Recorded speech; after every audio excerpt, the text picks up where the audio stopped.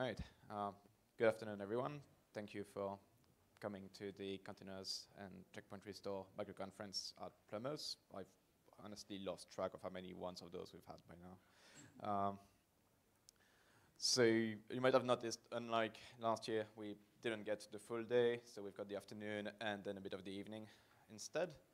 Um, and we've tried to do the usual kind of mix and match of both containers topics and uh, checkpoint restore, so that hopefully we, we keep everyone in the room, maybe, we'll see. Um, the Etherpad address is right there. We're gonna have a laptop that always tries and show it there. If it's no longer showing the right thing, tell me and I'll make sure we scroll. Um, schedule is this thing. We've not, we did some switches yesterday of two talks, I think. Um, otherwise, we've not modified it. Um, and that's on the website, so so long as you looked at it this morning, you're fine. Um, and I believe that's it for what I've got. Uh, maybe just for the speakers again, like we do want it to be mostly a discussion, so uh, do try to engage um, with people. And for the audience, like don't wait until the end to talk. Like it's yeah, just interrupt and chat. Uh, we've got a throwable thing somewhere.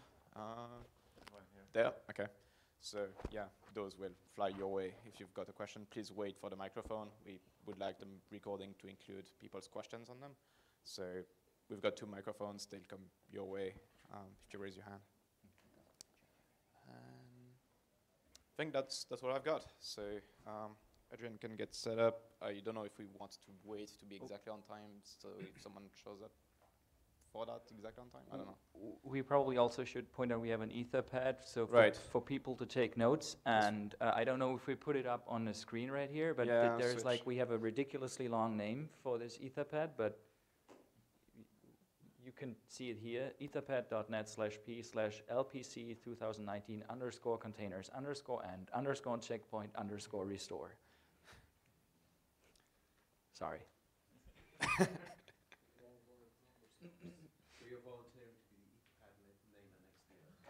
yeah, exactly. Can probably get them all, them, them also bitly and just give the short URL. or list them on the website. I'm not sure if there are anywhere on the website. Oh, wait. Yeah. Tempted to say we can probably just go. Yeah.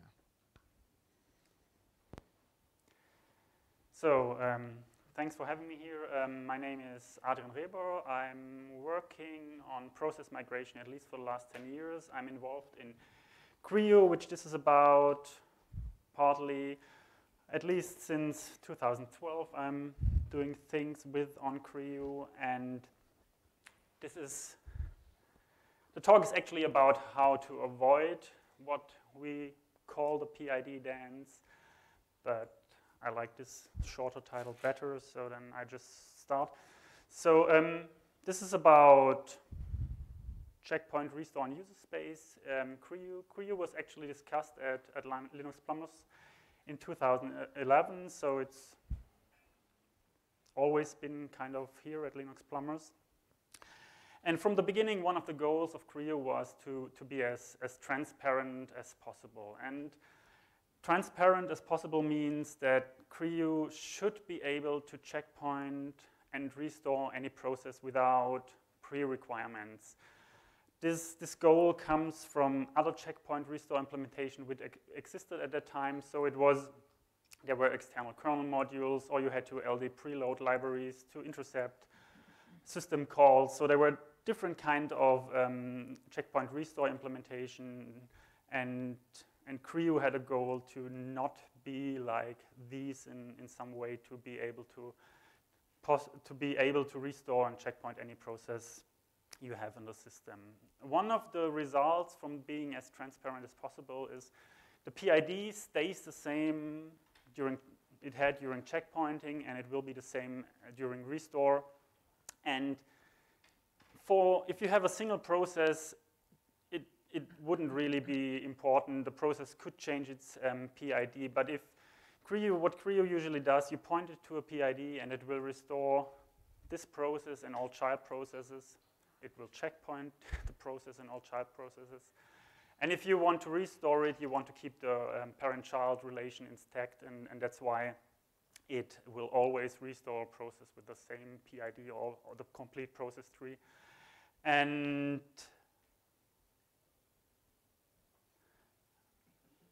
uh, so it will restore the process with the same process ID. And this, this opens up, one of the problems with this is that this opens up um, CRIU to, uh, to restore to PID collisions. So if the PID already exists on the system, the restore will just fail and, and stop. One solution around this is uh, um, PID namespaces. So CRIU often works on containers. Containers often use PID namespaces. So if you restore something in a PID namespace, you usually don't have the problem that um, that uh, you, you get a PID collision, but um, I'm saying it CRIU is independent of PID namespaces, and I mean that you can restore it with a PID namespace, you can restore it in the currently running PID namespace, but it's, it, it should work in, in, in every case. And I'm mentioning this here because when we started to talk about Clone 3, I got a lot, of, lot of questions, but you're always using PID namespaces, and, and this is not the case. So a restore should also work outside of a new PID namespace and in the currently running PID namespace, and then um, you have the possibility of a um, PID collision, but um, CRIU would like still to work in such an environment. To restore a, a process, CRIU um, morphs itself into the restored process, and one um, good point to um, to describe this is uh, I like always the file descriptor case. When you um, checkpoint a process, CRIU remembers the uh, file descriptor ID, the, where the file descriptor is pointing to, to which file, and the position. And during restore, CRIU just tries to recreate it as it was during checkpointing, and when the process continues to run, the file descriptor will be the same, will point to the same file and to the same position of the file. And the same happens for, for basically for the process tree, and what CRIU does, it does a clone for each PID, TID the process had during um, checkpointing, and so the process tree is recreated as it used to be during checkpointing. And this clone for each PID to make this possible, currently the, the PID dance, what we call it, is necessary. And the PID dance consists of those steps. You open um, proc ns_last_pid, you write the PID you want, minus one to ns last pit, you close ns_last_pid, you do the actual clone, and then you do a getpid to verify that the PID you hope to get, you actually got. And this is, uh, this is uh, open to race conditions, as you can probably see, because during writing to uh, ns_last_pid and doing the actual clone, some other process could have been created, and then you, your getpid will return something else. And in this case, also CRIU will abort the restore. Um, as it requires multiple um, system calls, it's also a bit slower as it could, could be. And one point I want to mention at the end also, it also requires CAP_SYS_ADMIN. This is not really important to the PID dance or clone 3, but this is something I want to um, um, mention at the end of my talk.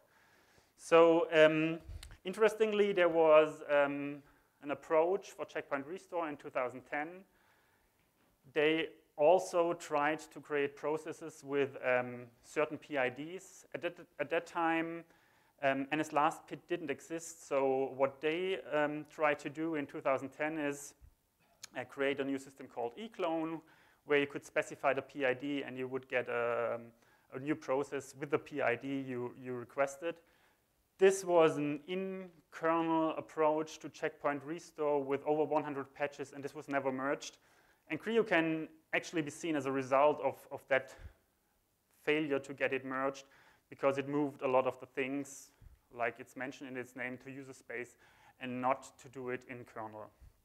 So avoiding the PID dance in 2019 um, is, is based, or at least we want to base it on, on the newly added clone 3, Clone 3 was introduced because um, the flags for clone ran out when clone pidfd was introduced. So for new clone flags, there was no space left if you don't remove the old unused flags. And if we're looking, for example, at a time namespace, there would have been no free flag to create, uh, to do a clone with a time namespace. So clone 3 was introduced, thanks to Christian and Jan. And once, when I first heard about uh, clone 3, I immediately, immediately thought about this would be great to um, have it extended um, to use um, clone 3 and to, to be possible to specify a PID you actually want for your, uh, for your process you want to create. And I wrote a first patch a few months ago, maybe, when I heard about it, and there was some private discussion about it. And when I first created it, I I, I didn't um, limit it to CAP_SYS_ADMIN. I just basically let anyone create a process with whatever PID um, the user wanted. And this approach was, was not seen very positive. And so I talked again with the CRIU developers. They said they think it's important to continue. And we continue to work on it. And we um, have now a, a patch which could be merged soon maybe that has the same restrictions as ns_last_pid. So, so you have CAP_SYS_ADMIN, and you can create with one single system call a new process with a PID you, you would like to have. So using clone 3 with set TID would look like this. You just do your clone. You specify the TID you, you want to, to the one you want, and the process created should have um, the PID you specified. As already mentioned, this still requires CAP_SYS_ADMIN, and it has the same limitations as, as, as ns_last_pid, so this fails if the PID already exists. Each PID namespace has to have a PID1, or this will fail. And if we can, if, if this actually gets merged, we can start to uh, change CRIU to move away from, from its current PID dance to use um, clone 3 instead. And one more thing uh, which we, we discussed um, as part of this uh, clone 3 change is to relax CAP_SYS_ADMIN on ns_last_pid and clone 3. The reasons we would like to see this from, from maybe the CRIU side is um, rootless container migration. I'm also working um, partly a bit on the integration of CRIU into Podman and running Podman containers with non-root.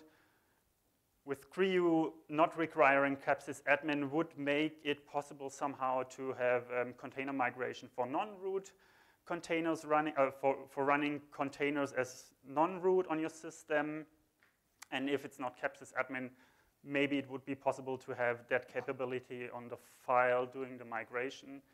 Another use case where relaxation of CAP_SYS_ADMIN would be nice is um, the MPI use case. In, in HPC environments, checkpoint restore used to be an important topic. Right now, it's not so important anymore because it requires a lot of time writing all those checkpoints to disk. But still, if we could have a way to do rootless, um, to offer checkpoint restore to rootless MPI implementations, it could lead to um, more use of, of CRIU in, in those um, use cases.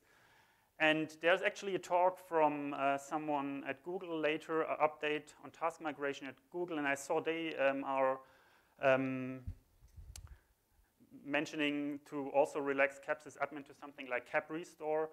And this is something um, I would also like to see. So if this is something this is uh, will, which will be worked on. Um, I'm really open to, to work with you on this to um, get this going. And uh, with this, I'm already at the end of my presentation. These are the links I just mentioned there, and there I'm at the end. Are there any questions? From Eric? Cool. Yeah. But want to address the um, permission relaxation thing really quickly. Um, if you make it NS capable CAPSIS admin of the PID namespace, Mhm. um, that will mean as long as you create a PID, PID namespace without being root, you, you can do, a- do a restore without being root. Okay. Um, okay. Yes, that's what, that's what we did. So you need to have Microphone. Sorry, I didn't see you throw. Uh, so yeah, that's sort of that's what we did. So you need uh, uh, uh, you need to be NS capable in the owning user namespace of the target PID namespace. In which case, rootless isn't a problem because uh, rootless you would have created the pit name, unless unless you want to do unprivileged restore, for not for rootless container, but for like just a random process. In that case, it wouldn't work, but for rootless containers, it would work. Oh, really? Okay. I, Yeah. I haven't thought, thought Yeah. about that. Okay. And then the, the other part that I, I, I keep picking on multiple um, um, um, levels of the PID namespace being restored at the same time. I was talking earlier, someone was saying that had gotten dropped because they couldn't figure out how, how the permissions sh- should work. And um, it occurs to me that um, if during restore what you do is you take who, whoever you start out as permissions, you know, root or um, the, the um, un- unprivileged user who does stuff, and you never call set UID and you fork all your processes before that. Um, you know, and you, you, you should be able to use all your original, have all your original permissions go through while you're creating, creating your, your processes with their, with their PIDs.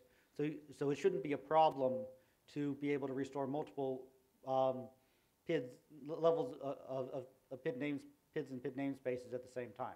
But what if you have an uh, intermediate user namespace? Um, you, you, you would go through and like create that on the side and um, set, call, call setns to, to get things built. But, but, but you don't, you don't, you build, do that outside of building your process tree. Right. So basically, you have another process which is like privileged with context to it, which is in the top level user namespace. Well. The, the thing with intermediate user namespace is you have to drop privileges exactly. Yeah. to, to start doing stuff with that. So you have the intermediate process that drops privileges. You keep all your privileges while you set every, all your process tree, and then you call um, set UID and set you. yeah. Yeah. Oh, I- I think that works. Um, yeah. Yeah, because you can, yeah, you can drop, drop your user namespace. Actually, we, when we restore a process tree, we need to, to, so we have one process, which is in this PID namespace already. Then Yeah. we need to restore a child, so we need to fork from this process and restore all PIDs on all level. I mean, in parent PID namespace, parent of parent PID namespace. How can we check permission for the parent PID namespace? Okay, so your CRED, which has, you know, so your, your, your starting process that forks, that forks and forks and forks and creates all, all your children. Um, its CRED starts out being, you know, ha- having all, all the appropriate perm- permissions to create all your PID namespaces and do everything. And so, as long as you don't change that CRED, you still have it. Um, you might have to call setns to get into the PID namespaces and stuff for, for your children, but as long as you don't, don't mess with your creds until after you've created the process tree, um, you'll have all the, all, all of your permissions, um, while the, while the tree, tree of processes is being built, so it'll pass all the permission checks. Uh, okay. I will see. I, If you have an intermediate user namespace, it'll be it, the owner would be different. So if you so you, c- I guess your point is is that if you have this process tree creation thing, you then can have something else which is uh, CAP_SYS_ADMIN in the top level PID namespace owning user namespace, and that will have privileges over the lower ones. Even though to set up you would still need to create a new user namespace. Is that what you're saying? So, so, so- so your initial process has privileges over everything, because Right. i- i- it's your user. Yep. Um, and you keep those credentials while you're creating the process tree. To create the um, subordinate PID namespaces, you go off on the side, you create a user namespace, go into the user namespace, create the PID namespace, and then the process tree you call setns. Um, so, so the, the children show up in that PID namespace. So the PID namespace ha- has a user namespace limitation, but your process still doesn't. So, it- so, so it ha- has permissions over the parent PID namespace. I think I'll have to think about it a bit. Once Okay, S- So Yeah. this exa- uh, this seems very like very elaborate and very complicated. And I think that one of the other reasons that I brought up why this didn't come to fruition was that you didn't really need it, right? I mean, Pavel said. Go on. Sorry. Yes.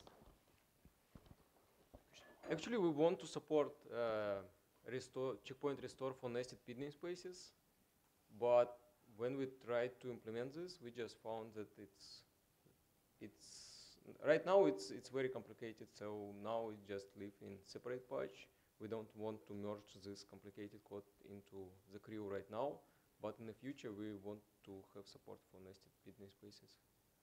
So it's like checkpoint restore for uh, nested containers when you run a few containers inside another container.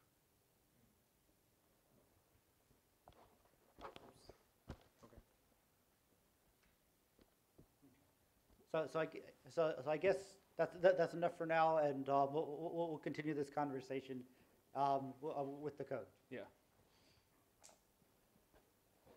Any other questions?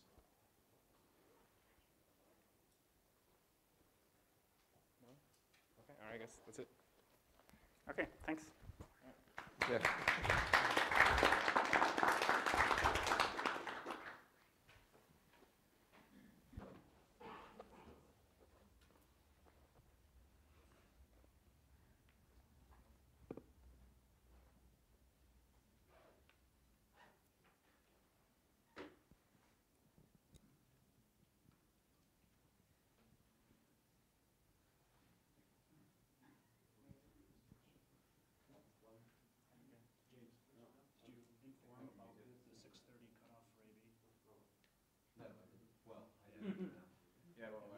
Okay, you're aware, six thirty cutoff at AV.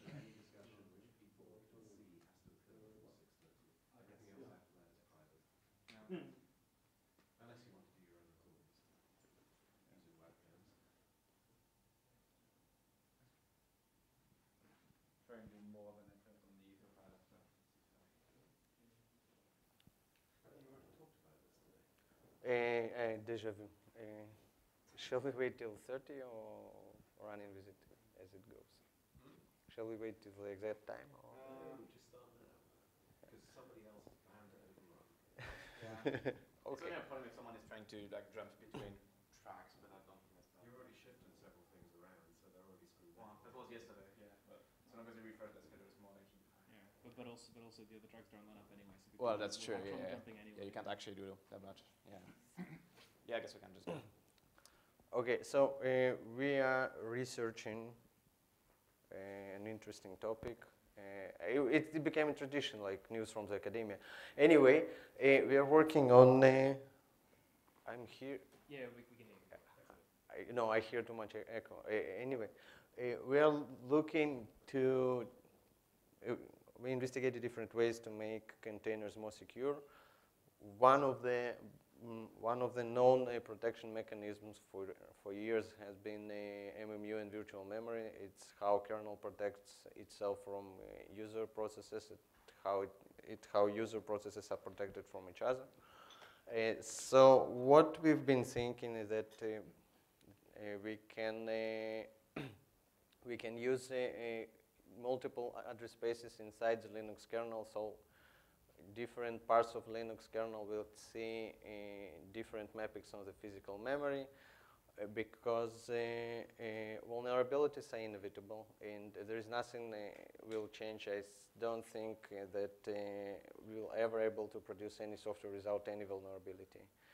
Uh, so uh, restricting access from some parts of kernel to other parts of the kernel will make the attacker life harder and will uh, protect, uh, will, pro will give better protection. Uh, it- there is also been uh, uh, some work in the VM area, which is work in progress about KVM address space isolation and the process local memory. Amazon people proposing for storing VM secrets. And actual restricted address space is implemented with everybody known uh, kernel page table isolation. Uh, what happens is users page user kernel view, kernel mode part of user process page table it has a restricted mapping for on only essential bits that required to uh, enter the syscall and continuous execution, and there it, it there it happens a switch to the complete kernel page tables. Uh, our first attempt at using address spaces for improving uh, isolation inside Linux kernel was uh, we named it system call isolation. Uh, the idea was to use uh, a restricted page table for execution of system calls. So whenever an application executes system call, it gets uh, some minimal set of mappings that are enough to start running the system call. And whenever, whenever uh, the system call processing requires additional, to access additional code or data, we get a page fault, and then in that page fault, we can decide whether the access can be granted or not. So when we were thinking about what uh, filters and how to make decision uh, whether to grant access or not, the only thing that came to mind that we could try doing ROP gadget prevention uh, by checking that uh, any call that is going to be taken will be to a known symbol and not to, the middle of a function. So it didn't really fly. Uh, first, to have proper op prevention, you have to check on the return rather than on the call. Uh, it has a problem with granularity, so whenever you we already allowed access to a certain page, the entire page is mapped, so attacker can jump into middle of that page because it's already in the page table. And the worst, uh, I, I've been able to measure performance at some point, so uh, we don't want to go there. Uh, the next, okay, it's here. The next uh, idea we had, and we didn't start to work on it yet, is to create some special mappings in the process virtual address space with mmap secret or madvise secret, uh, so that uh, user can say, okay, I want this region to be private for me, and this region won't be visible to other not only to other processors but also to the kernel itself. It will be essentially every page that goes uh, that populates this memory region will be dropped from the direct map. And then uh, this will allow something like opening a secret file, decrypting its contents, and uh, and using and storing uh, secrets from a file uh, inside protected memory areas that is not mapped by anybody except the process that uses it. Uh, and an assumption uh, that for block I/O uh, you don't usually go to copying bits from from from device to memory, but it's possible to demate directly into the page that will be already mapped into the process address space. and uh, another thing we we are actively trying to work on uh, with different level of success is marrying address spaces and namespaces. So um, currently we are working on uh, assigning uh, private page tables for every instance of network namespace. Network namespace is uh, allocating uh, its objects from uh, it recreates copy of networking of entire of the entire networking stack that is mostly independent of the rest of the system, except some places where you need to cross uh, namespace boundaries. For instance, when SKB travels from one namespace to another namespace or to the other namespace. And most of the namespace, network namespace objects are private to that namespace, so probably we can be able, we may be able to make them invisible in the page tables of other network namespaces.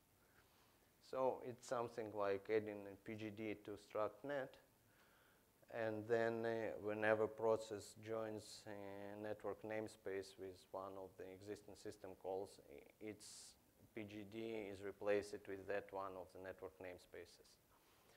This allows us to save a context switch hit because uh, the, the change of page table from full kernel page table to restricted page table becomes implicit with switch to.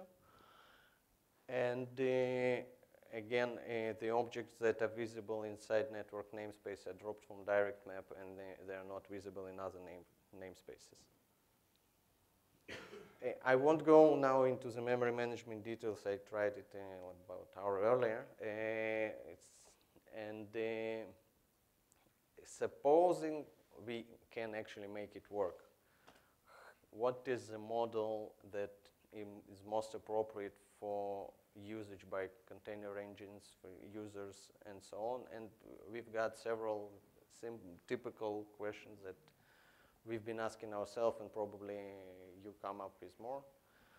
So, uh, uh, what other namespaces uh, might gain some security benefits of uh, being able to have their own page table? It seems to make sense for NetNS. It might be useful for Mount, uh, probably UTS. No, I knew, I knew it. I, he said that. Yeah, no, it just, mount propagation totally destroys any, any ability to isolate one mount namespace from another. Maybe. Okay. You can build namespaces that are disconnected that won't propagate, right? So there is a use case where you could prop, prop, possibly disconnect a mount namespace and then use a mechanism like this. Uh, right, but MMS After completely rewriting all the, ro- all the locking for, for that case. I don't think you have to. I think you can still. It's, Locks are all global. it's sort of like the pivot pivot root use case, right? So with pivot root, you can probably do this. Whether it becomes useful only in that use case is a question, but it's to blanket say you can't do it is not correct. Yeah, I was going to ask, uh, even if it was, if, let's say we can do it for the pivot reduce case, um, what would be the protection be effectively? Because for networking, I understand, which is you don't want, for instance, uh, packets in one network space to be attacked from another, but mounts are not secret, it, not at least not in principle. So, but in principle, once you've done pivot root, they can be disconnected from the kernel's root namespace. If you can actually disconnect the pages as well, you can theoretically, and I don't promise you this is possible, but it's an area of research, you could theoretically attach encrypted file systems to this mount namespace that may not be accessible to the main kernel itself, which would be a useful thing for persistent storage, for secret persistent storage for containers, say. Though we might It want would be kind of funny because you, you can totally access any process's root file system through proc pid slash root. assuming you can get that there are lots of disconnection problems that we have. We're just asking the question, if we were to do all these disconnections correctly, can we get a security benefit? Mm. I'm not convinced that you would run a, an encrypted file system this way. I think you'd much more likely to run it in some sort of microkernel, where the microkernel controls the decryption of the pages, and then we just use a standard separated address space for the result, something like that. So perhaps we would never do this, but I was just pushing back on the idea that it's a, a priori impossible. It's not, so it's useful Yeah. to research. Uh, I was going to say, for, for, for that use case with an encrypted file system, I imagine if uh, theore- a theoretical keyring namespace, um, in that would be more useful for that use case, I guess. Um, we don't have that, right? We This have none yet, so Yes. that there are other namespaces that we haven't actually gotten the kernel this might be useful for as well. Yeah, Okay, okay, we'll yeah. accept that. Now, there's, geez, oh, I gotta get away. Uh, the one thing though is, uh, it seems like the overhead of this and everything and the, and the complexity, it's almost like, why not just kind of like a, if you even mentioned microkernel, make a small like VM and just use that. Uh, Well, so a VM is a layered security model, a microkernel is on the side security model. The question we're asking with this is can we separate the execution streams of the kernel in such a way that it gains the density benefit of containers and yet has a security property? I mean, the whole premise of what are the actual security benefits are right at the moment, containers get a bad rap with security because once you get into the kernel part of a container through a system call, you have access to the entirety of the system. The horizontal attack profile is wide. If we can put it into a se- segregated address space, we might be able to, to reduce the horizontal attack Theoretically. profile theoretically. That's the security benefit we're chasing. i- It doesn't mean that it's theoretical easy to do it. It's, And the it's a- question, and then- then, what, is there a performance hit when you do something like this? It's, we'll know in a couple of months. There, there is, because you have to change page tables as you do it. But if the page table is always present and you just call through it on the syscall, we can possibly eliminate the overhead. So there are ways of getting the page table overhead to shift. And the page table overhead is uh, a bit less than the overhead you get going through a hypercall anyway, right? Okay, if you're able to find a way to crash this, it still crashes the kernel, right? Or is it? Well, if you actually bring down the CPU in something, uh, it depends. Fault isolation can actually be enforced by this. So it can be the same way as you get an oops in the kernel, but the kernel will continue because the fault was isolated to once you've killed all the processes in this container, the rest of the kernel can continue. So it's not impossible to get fault isolation in this way. But before we get on to fault isolation, we have to have security benefits first. Yeah. The point of this research is to get containers that are more secure than hypervisors. So we already have that with sort of specialized containers like Nabla containers. The question we're looking at here is can we apply the principles more generally? And we're not coming with answers, we're coming with mostly questions to Yeah. this group. Uh, so actually, uh, we would be also interested in the mount namespaces where the mount propagation is cut off at the kind of definition level of the mount namespace, uh, simply because, for example, we allow some customization of the environment and we do a lot of mounts in the environment of the user and we don't want for this to accidentally propagate, for example. Like it's, it's doable correctly without any such features on the kernel side, but it makes it easier to reason and to think if you just by definition cannot get a mount out or get a mount in. Yeah. I, o- overall, what I've heard is most people prefer mount namespaces without mount propagation. Um, and as much as we, we, we can do about that, you know, um, I would say for purposes of research, mount namespace is probably not some place to look at until you've seen, seen benefits elsewhere. Well, we, we, are, Um, we are definitely starting with network namespace. Yeah. Eh, and when we get some results from our work with network namespace, we'll see where we're going to continue, or we just abandon the whole thing maybe. Yeah. If it will become too complex or too inefficient, uh, so yes, we, we are going to drop it. But if we get some good results, and I hope we will do, we'll see what next namespace is going to be, and most probably it will be actually user namespace, and then you have like per tenant uh, separation of uh, resources, and user namespace gets its own page tables, and whoever inherits it gets its uh, view of the kernel memory from the from the top process in the user namespace. Yeah, to ground this where it's coming from, with the Nabla containers, we were trying to reduce the surface area penetration into the kernel, which means reduce the horizontal attack profile.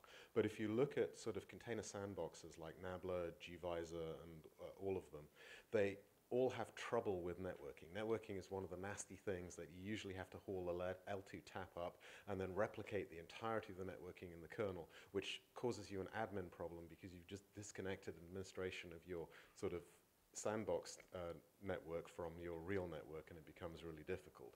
So the question we were asking initially is if we could isolate the kernel's networking layer in such a way that um, we could actually make use of it at the sort of layer 7 tap, which is where you're supposed to, and therefore use all of the kernel's admin structure, it would greatly simplify these sandboxes and at the same time provide an equivalent amount of protection.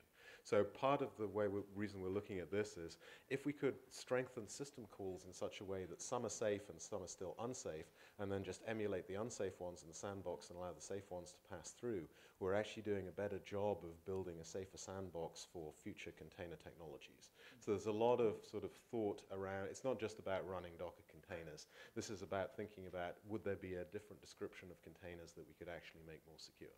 I mean, we've already proven that we can build specialized containers like Nabla that have security properties that are about twice as good as that of a hypervisor. So we've cracked the goal of making a container that's more secure than a hypervisor. The question is, can we bring the benefits of the technology globally? Which is the that's the background rationale for looking at all of this.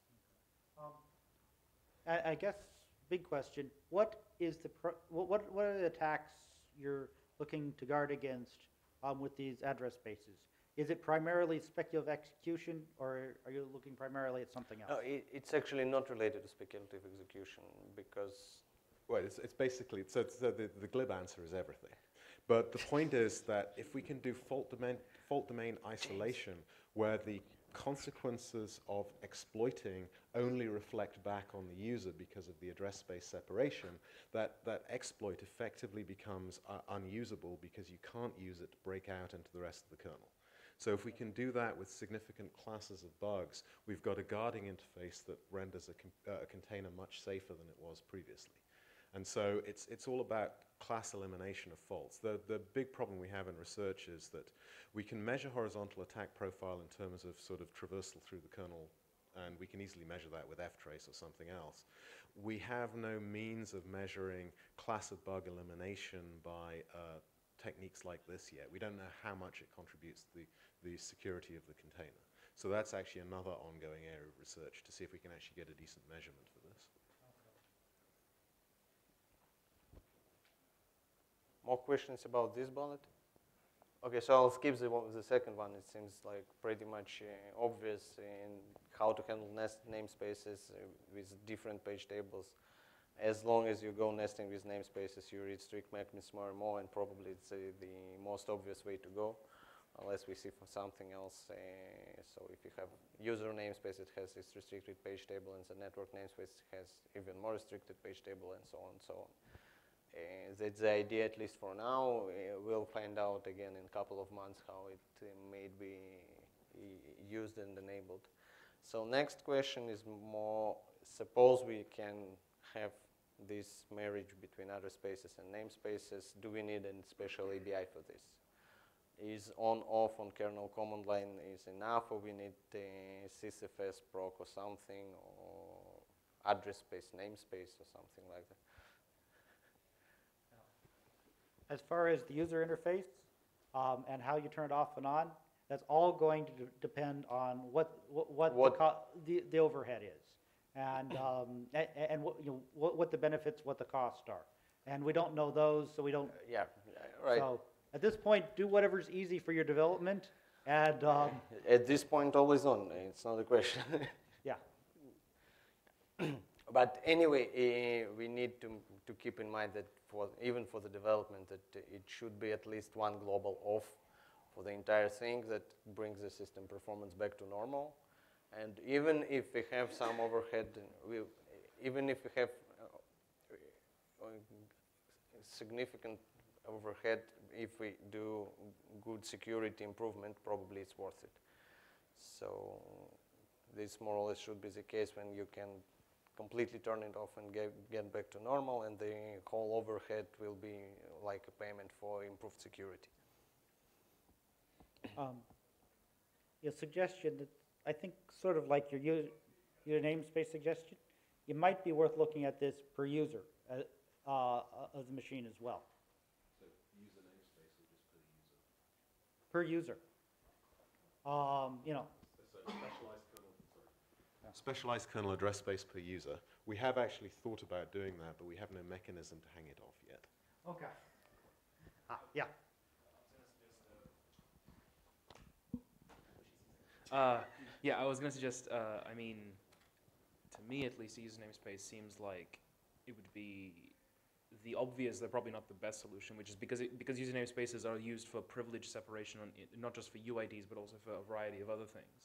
And so it might make sense to, to pitch into this, though I have heard people complain about the fact that there are too many things pinned to user namespaces, so that might also be a counter argument as well. Well, those Docker people, because they still don't damn well use it. Can you Yeah. just fix that, please?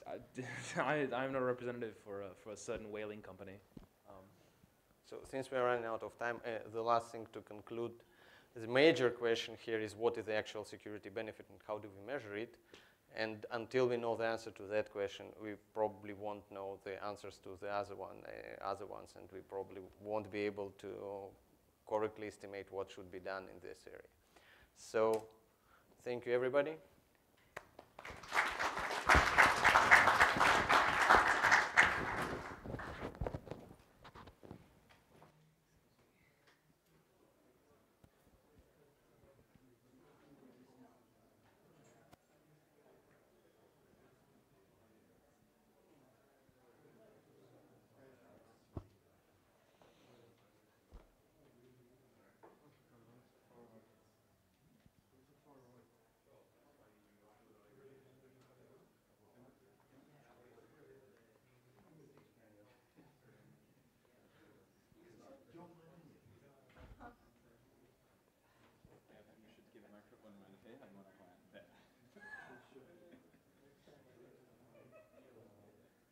he's saying also this is uh, a.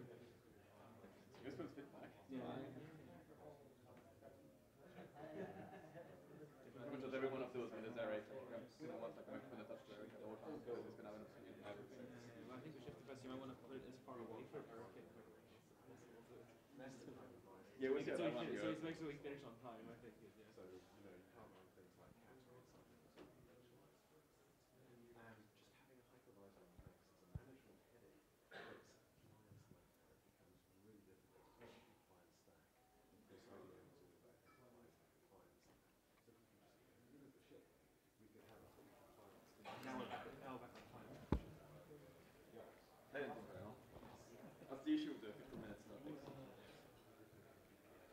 Of course.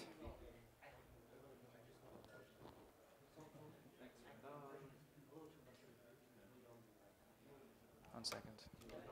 No, no, no, it's, uh, this was probably my mistake.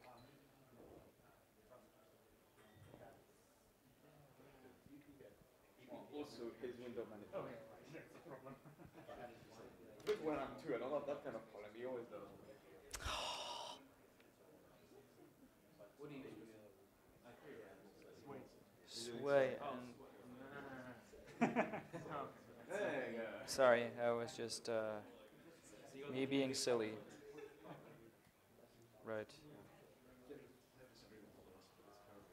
Okay. Go ahead. Sorry, uh, took a while longer, but um, okay. So this is an update on what we did to, with the SecComp Notifier FD, which uh, we presented on uh, last year. So uh, for everyone who's not in the picture, but uh, what you can basically do if you're a task and you're loading a SecComp filter, you can get an FD for the SecComp filter, which you can then ha- hand off to a different process and for usually a more privileged process such as a container manager, and the container manager can then receive events uh, based on the filter that you registered uh, for the task on what syscall the task makes. Um, the idea being that we would be able to perform certain operations that containers, unprivileged containers and user namespaces would normally not be able to do uh, for them the container manager would be able to uh, do them for them. Classic example is uh, mknod in containers in user namespaces, sorry, um, doesn't work for character devices and block devices. It obviously works for sockets and uh, FIFOs. Uh, so, but there's a bunch of uh, devices that every container uses, usually that we already bind mount in from the host, dev urandom, dev random, um, dev null, dev zero, and so on. Um, and such devices would be safe to create. So if you do uh, anything inside of a container does a mknod call, and you would be able to somehow detect uh, that this is a valid mknod call for a device that you find that the container creates, uh, then you, the container manager in this scenario, could perform the syscall um, for the container. Um, so you basically have a whitelist of, of uh, valid devices. Um, so how exactly does this work? Well, uh, you get a seccomp notification. Um, you can stuff DFD. You got into an epoll loop. You get notified when the container makes a relevant syscall, in this scenario, a mknod syscall uh, for a specific type of device. Uh, then you can do an ioctl on, sorry, you can do an ioctl on this FD and read the uh, data from it that you usually get with SecComp. Um, you also get a PID uh, for the process which made the syscall, and you get a cookie, an ID, which allows you to verify um, that if a task is still valid. Uh, so, for example, you could then use the PID to open procpid mem to like read the memory of the uh, of the syscall that was made, um, to inspect pointer arguments and so on. Um, and if you open, there is obviously a race here.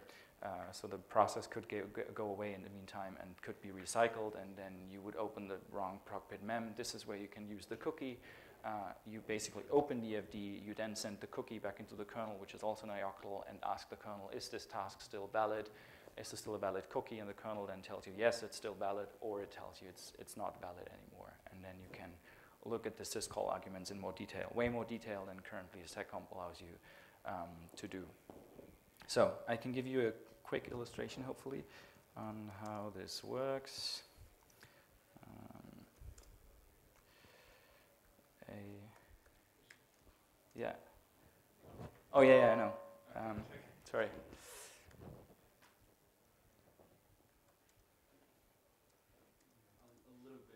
Yeah, and a little bit.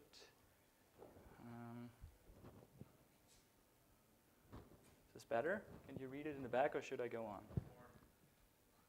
Okay. Yes. Okay. Um, this is just a container uh, which is in a um, user namespace. And so if you, for example, let me see right here, if you do mknod, uh, random name, character device 5.1, which is dev console, um, you get operation not permitted, uh, right? And so we can turn on the options for uh, the seccomp listener. Stefan, do you have them in mind? Yes. Uh, config set uh, name of container. Um, v2. Yeah, security dot syscall dot intercept dot No intercept. Ah, right. And so that's true. Yeah. Uh. Syscalls. I think there's a nest. Yes. Right. Yeah, and need to restart. That needs tab completion. It does have tab completion. So, is this a What did you do? That's odd. Yeah. Well, in any case, I would like to give a demo, but apparently my kernel doesn't like me today. Um, yeah. Um, yeah, you can do lxc-info and it's going to tell you why. Uh, oh, yeah, Okay, I'll just. Yeah.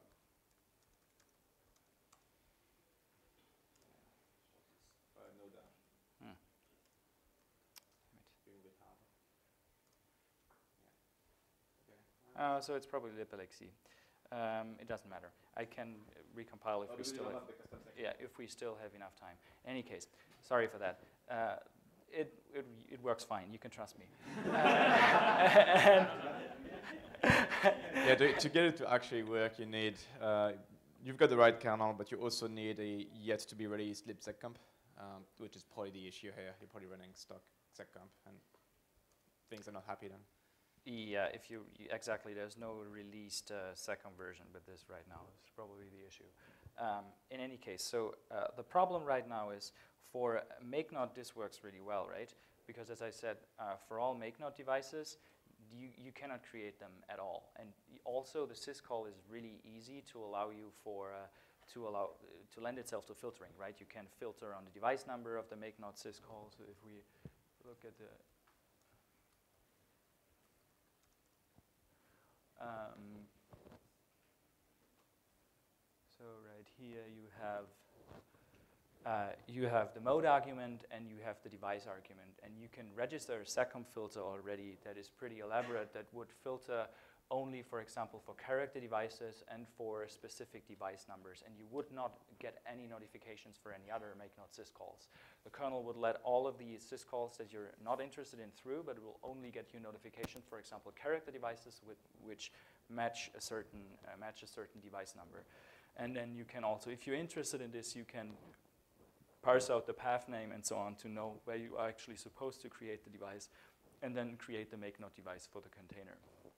Um, the problem is this is obviously not doable for, uh, for a bunch more syscalls. So for example, let's look at um, setxattr. Uh, adder has a path argument, a name argument, and a value argument, and a size argument, and flags. And uh, for a lot of interesting setxattr calls, so for example, um, currently overlay, I think, on some systems, if it creates whiteouts, um, it creates a file that is called overlay.blah blah blah dot whiteout. Uh, and we would like to succeed that, have that succeed inside of containers so that you, for example, can run Docker in there and so on. So this is what you want to intercept.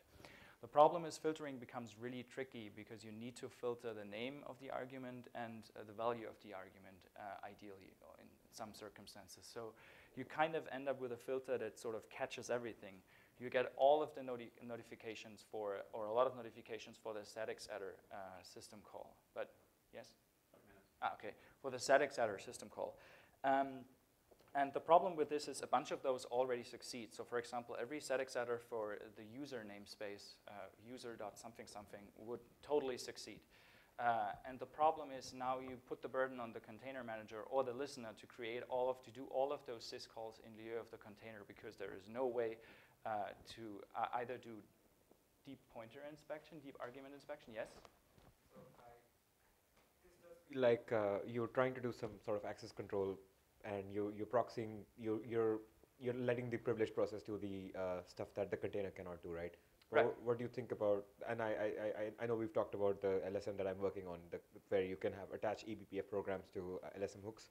Uh, could this be something we could do as a part of that uh, and do a deep argument introspection there and And there was a session about this uh, yesterday where we talked about deep argument inspection for, uh, for SecComp, um, where this came up as well. Uh, it's, it's controversial in the sense that because you need an unprivileged LSM and whether we unprivileged eBPF LSM in this uh, specific scenario. And it's unclear whether this is ever going to happen because of uh, reservations from the, uh, from the eBPF maintainers um, and also from the LSM maintainers who don't want to expose too much internals for the LSM hook. So there, there's a bunch of issue, uh, issues. And also the issue that like we, we want mm, some of that filtering to be at the SecComp layer, which is before the LSM hooks. And you might, like, we actually have cases with, because we've played with that feature quite a bit. Right. We, we totally implement syscalls that don't exist in Linux kernel. And that's Yep. perfectly fine because we can we can do it. SecComp doesn't know yet whether syscall exists or not. We can uh, just accept it and go to user space and pretend it does. Okay. Um, So can I ask the reverse question? Uh, what about looking at mknod itself? Right at the moment, the reason it doesn't work is because once you enter a user namespace, it's not NS capable, it's capable, so you're incapable Right. of making any node. If we relaxed that and allowed the making of specific nodes that could be set by root, for which we had a whitelist in the kernel, The- wouldn't it obviate all of this? Unless you have a, r- a real need for Oh, no, it wouldn't, yeah, First of all, introspection. there is a for bunch. mknod, it's true, it works. There is a bunch more. There's a bunch more syscalls Yeah, uh, yeah. where we can't do this. Also, having the whitelisting kernel was frowned upon. Um, just whitelisting a bunch of devices, I've never heard that being acceptable. But huh? Init module, Right. there's a sorry. init Init module, module, there's a bunch of other syscalls. Uh, uh, there's a um, bunch of other syscalls. Uh, Yeah. exactly. But like a, a Um, simple example. One of the one part of the solution that it could probably be done relatively cheaply that uh, um, at least the seccomp maintainers haven't been opposed to is to be able uh, to tell the kernel to resume a syscall. Um, so you inspect the, set, the whatever syscall you intercepted that you're interested in. Um, and if you know that it would succeed anyway, the kernel would let you do it, and you just would let it uh, uh, let it pass through. Yes. Uh, So- for- I, I was I was I was a bit confused by why this needs unprivileged BPF though, because if you have a central LSM that that does take care of the MAC policy for your mknod syscalls, you could have a whitelist as a part of the eBPF program that is is is checked in the uh, uh, in the mknod hook in the kernel, and then you can check whether this container is allowed to make mknod for this particular device, right? Like We nest containers. yes. We run Docker inside LXD, for example. okay. At which point, the host of that Docker container is an unprivileged container itself, so it can't do Okay. anything privileged. Okay. Exactly. There is also no, uh, one should also note that um, at the beginning we worked under the assumption that we need um, deep argument inspection in a very generic way, ideally, for example, uh, for, SecComp or not necessarily SecComp or an eBPF LSM for all, for all syscalls. Um, and I, I think we, we slowly have come to the agreement, uh, especially in the K-Summit session yesterday, that this is that this is actually not what we want or what we need. We don't need like we, we don't need path-based filtering, for example, for syscalls from that's LSM territory, and you want to filter on kernel objects anyway. You don't want to filter on strings that then get turned into other objects, and in the meantime, the meaning of the path and the relation to the kernel object might change, and so on. So, uh, but for example, where it would make sense is, is the obvious candidates, and I'm partially to blame for this. This is why I also had the K-Summit discussion, is clone 3, for example, where you have the flag argument in a struct, or openat 2, where you have the flag argument in a struct uh, 2, or, yeah, for those kinds of things where you also, where you have a struct where it makes totally sense to filter on it, uh, we could, for example, come up with a framework where you mark a syscall as filterable, then you copy the arguments, and then you have to do the seccomp uh, deep syscall filtering. Um, and these are, I think, well, relatively low-hanging fruit. Okay, um, that's gonna be it for this one. We've got to, to switch to the next topic, uh, but I'm sure we'll be talking a lot more about SecComp later at Plumbers.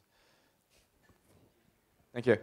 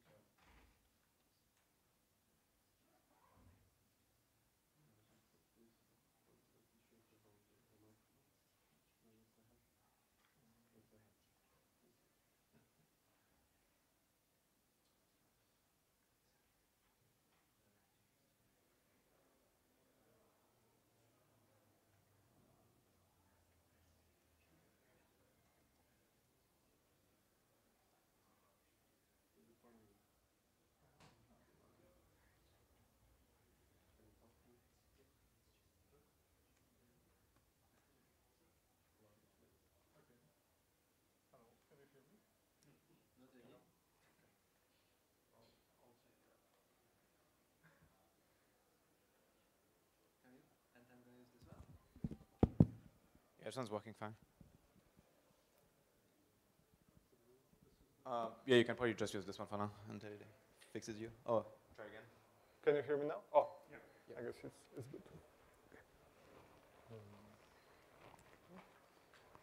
Okay. So, hello everybody. Oh. Okay. Hello everybody.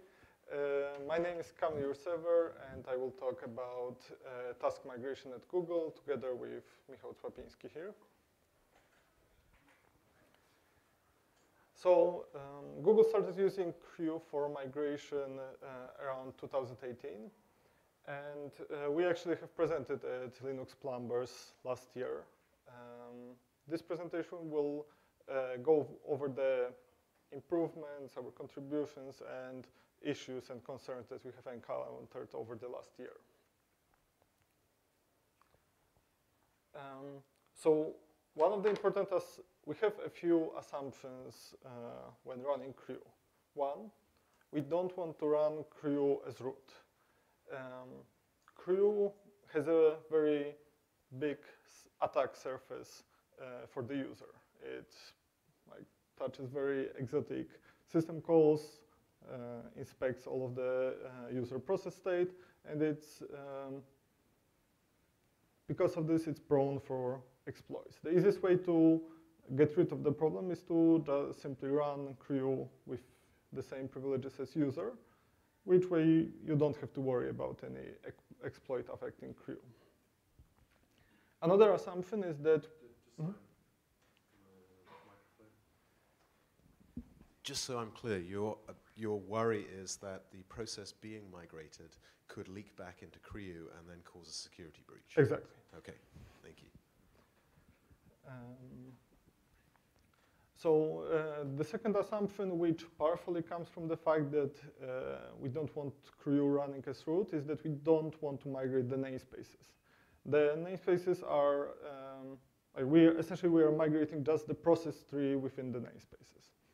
So uh, one reason is that setting up the namespace requires doing a lot of stuff which requires root privileges.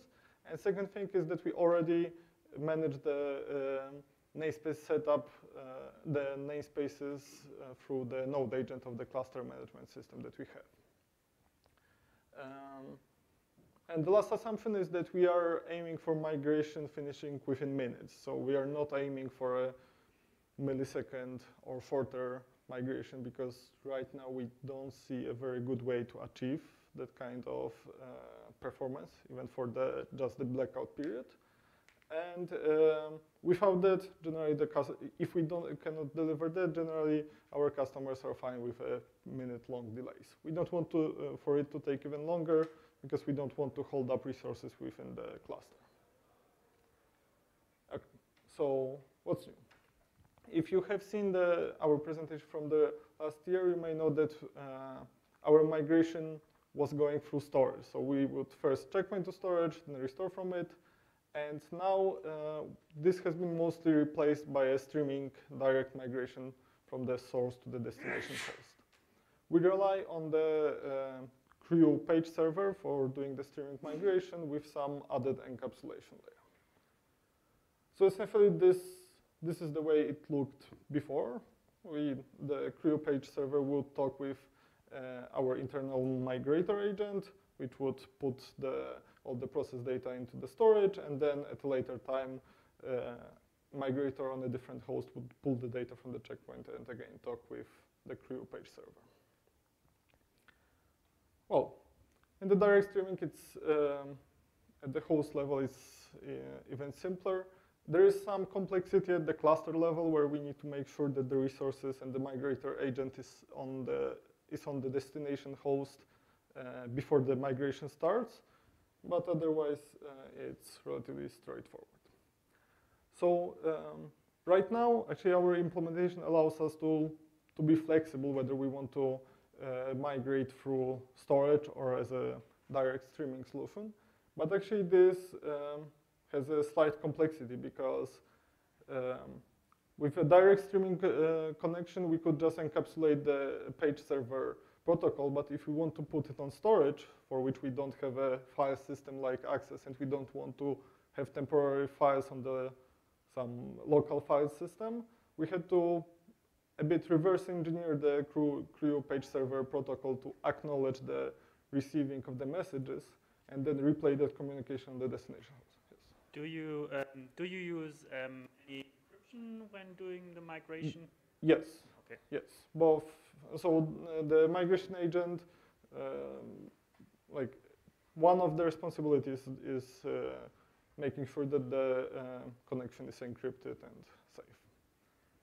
Um, so one thing that would be nice if CRIU um, would give a way to have the data received in a streaming manner without us uh, having to acknowledge the receiving of the data, or if the protocol was an officially supported uh, protocol that we could feel safe to implement to, without uh, being afraid of it breaking in the future.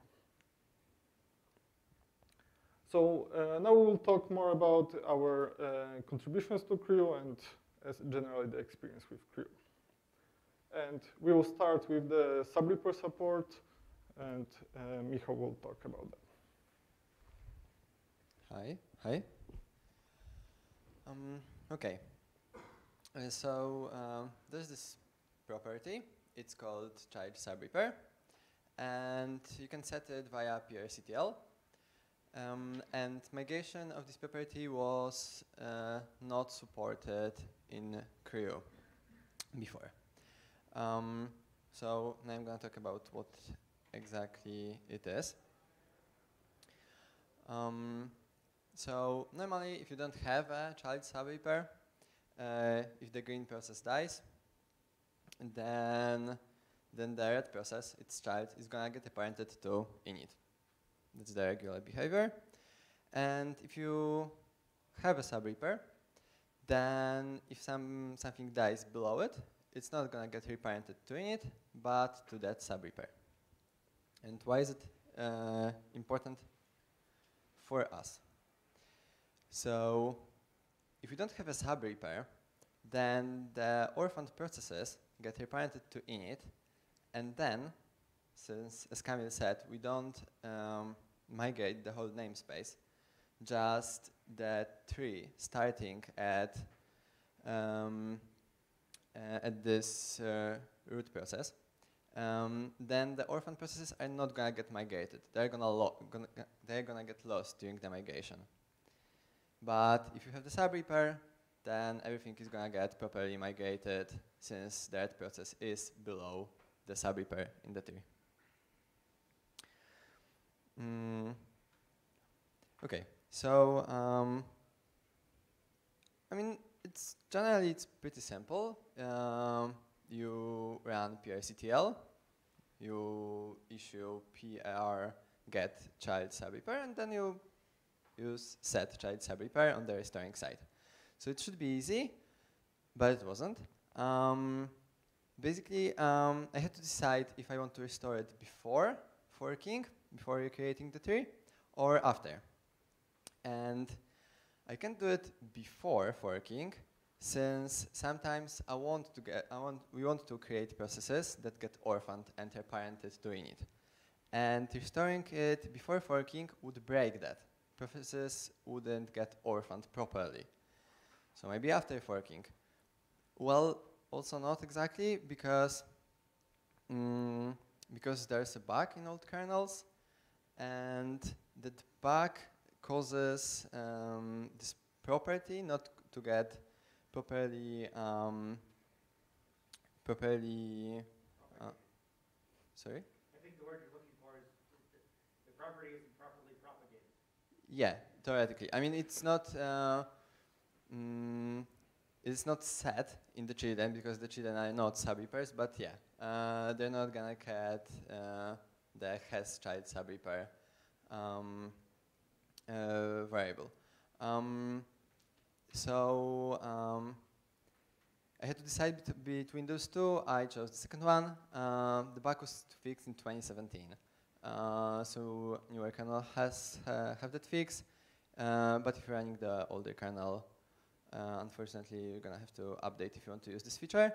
And uh, I want to say thanks to Pavel Tikhomirov, I hope I'm saying this right, um, because he fixed that bug. Okay, now uh, about C groups. Basically, CRIU handles C group migration just fine, um, but it uses capses store to mount um, to mount the, the C groups. Um, it has to do that because uh, in other directories that not every C group uh, might be mounted, there might be some missing.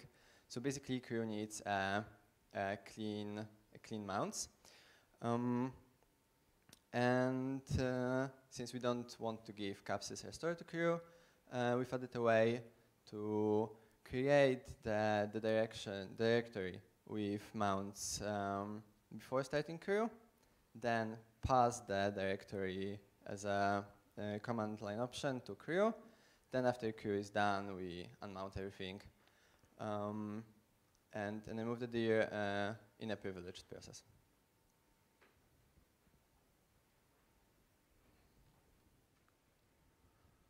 Um, another thing that we uh, liked in our interaction with CRIU is that um, we generally, during the migration, the uh, task on the destination host gets a different IP than the one on the source host.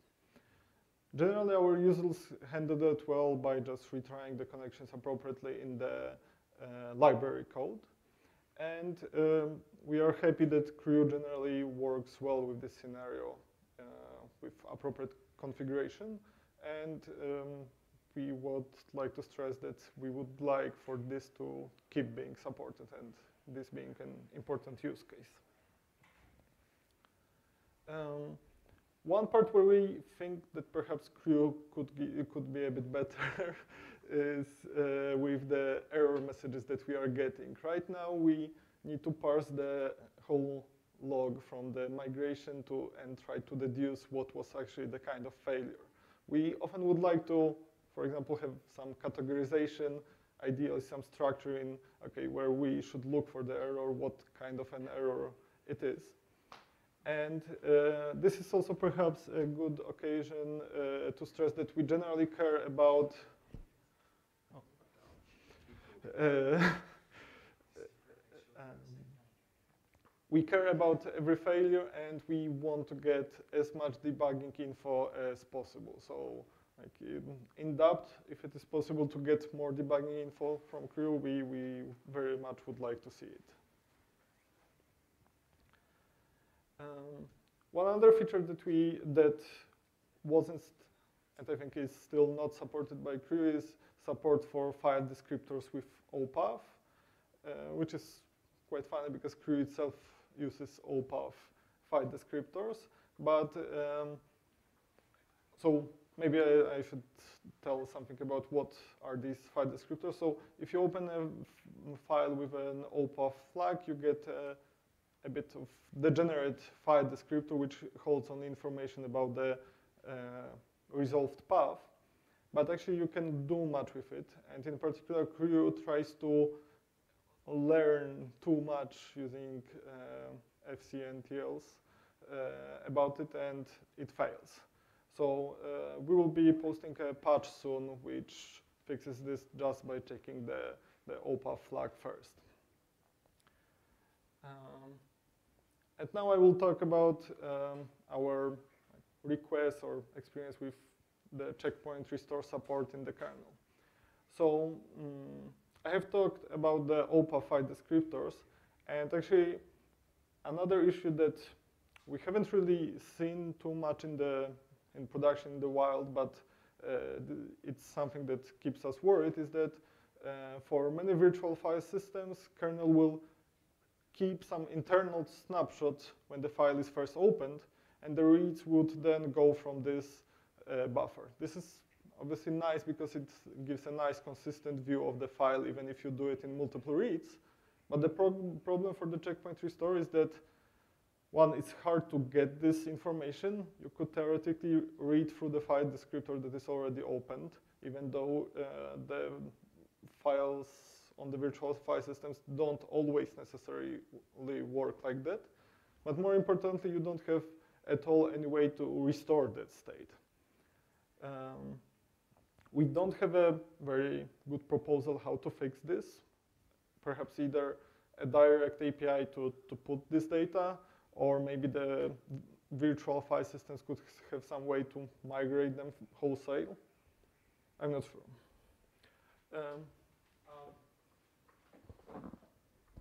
Um, um, is this something that happens frequently with so, some files?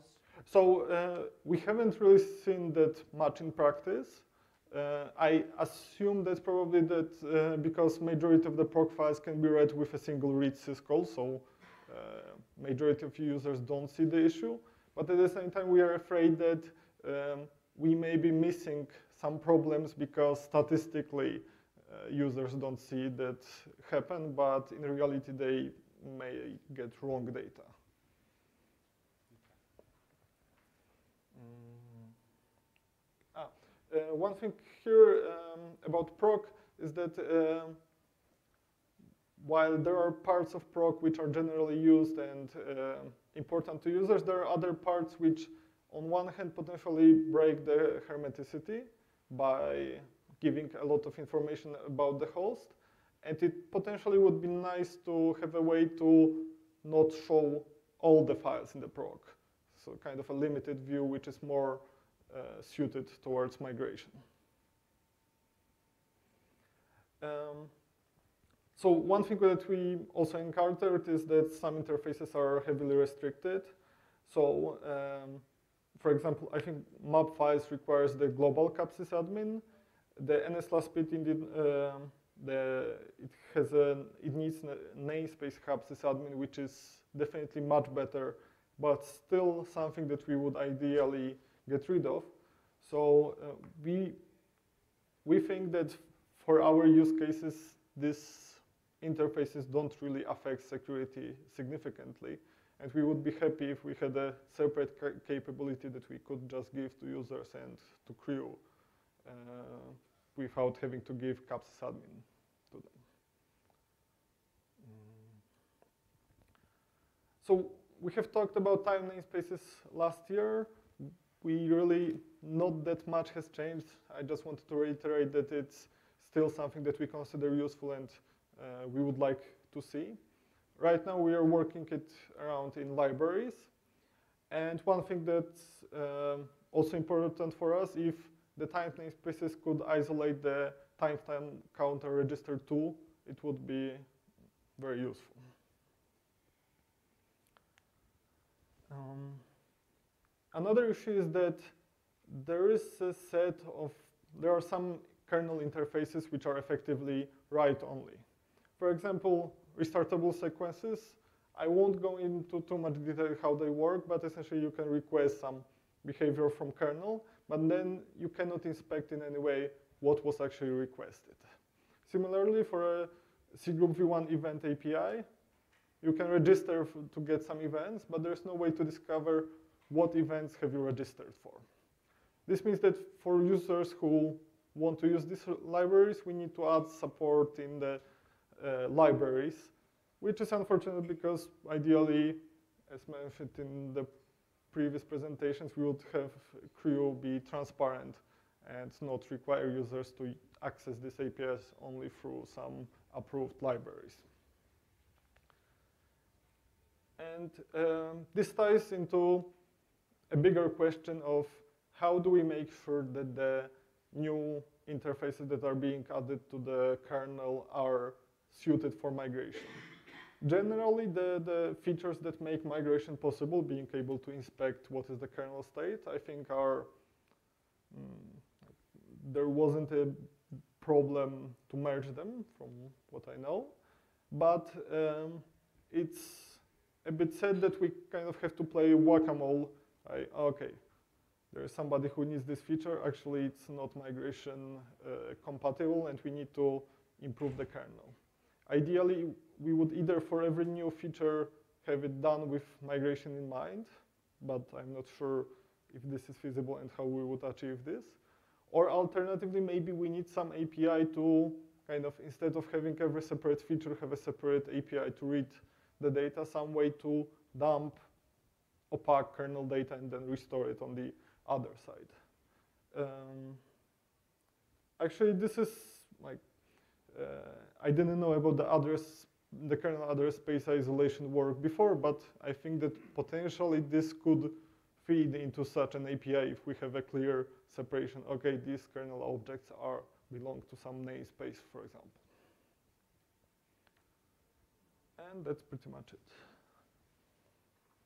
Any questions? So, you, you said your container manager um, creates the namespaces on the destination machine. Yes. Is one of those namespaces a PID namespace? Yes.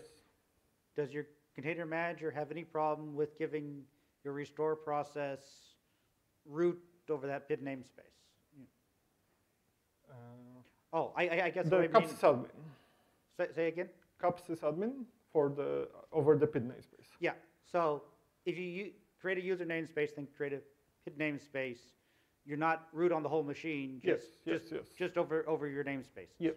So we actually do that right now. We would prefer to have it reduced, but this is uh, a not bad situation right now, the way we look at it. But uh, for example, I think at the um, the map files interface, as far as I know, requires actually a global CAP_SYS_ADMIN. And if it required a namespace CAP_SYS_ADMIN instead of the global one, that would be a, a huge improvement for us.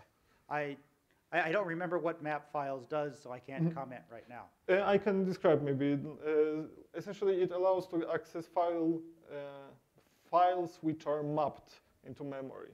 The main security concern there is that only a small region is mapped, and through map files you can see the whole file if you have permission. More or less VMA to file.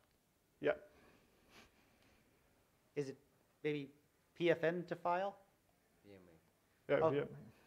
Okay, I'm, I'm remembering a discussion.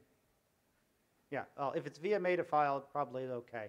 I know there's another similar interface that was showing page frame numbers and stuff, and it was useful to exploit um, Rowhammer. Okay. Uh, so, so, so you can see what, what other processes, where other processes were, and say, oh, if I pound on this page of mine, it'll blow you up, Okay. and, and get security. I. Yeah. It, it's different. So yeah, as far as I know, it's VMAs. Yeah. yeah, so if it's just VMAs, it should, should be fine. For uh, the NS capable. I think so. I think so. Yeah. And what about the cap restore to like Um, fur- further reduce the uh, capabilities given? Well, if you could do it as a user in a user namespace, you have fewer capabilities than what you would with a cap restore. No, no. Uh, I guess we could have cap restore within the namespace too. Okay, yeah, and that, that, that, that, that could, if, if the only thing that's really using that kind of functionality is uh, re, um, checkpoint restore, that, that wouldn't be unreasonable. Might, might take work, but, yeah.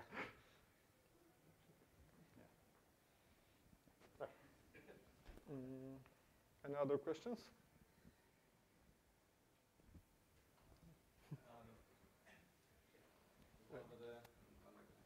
Yes, but where were, where, uh, where the mics? Yes, there was one back there somewhere. Oh, it's not working? Oh, you can try it.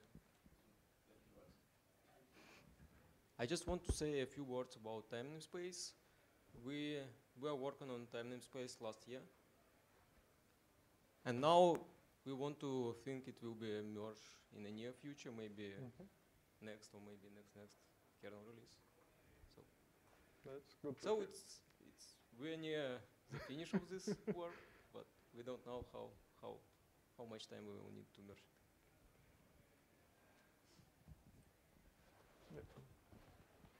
Uh, yeah, so my question, I may be showing my ignorance here. Does CRIU try to checkpoint and restore processes at random times, or do they have to reach a safe point where you can save and restore them? Ah, uh, does it require coordination from the user of, in those safe regions? Is that the question? Yeah, something like that. Yep. Uh, so no. However, we uh, for users we expose a migration notification API where they can register for an event uh, before the migration, and we wait for them to kind of acknowledge that they are ready. So, for example, in some cases, uh, like if um, if they want to do some lame duck or do something to make themselves more migratable, uh, this can be done within these hooks. So essentially, uh, most of the workarounds in the libraries that we uh, have mentioned are done using such an API. Okay, before migration, let's either write down or change some stuff, and then on restore, uh, first some fetch the information about the new host, and only then actually continue execution. Right. Uh, one thing I was wondering about specifically is what happens if a process is executing in the VDSO, for example, when you try and migrate it. Um, do you Yeah. only allow migration to an identical kernel, or Yeah, so uh, we haven't really solved that problem, but I think there's a presentation later about this problem, and uh, Yeah, I'm going to present uh, this problem or issue, yeah. okay? no, that would be interesting.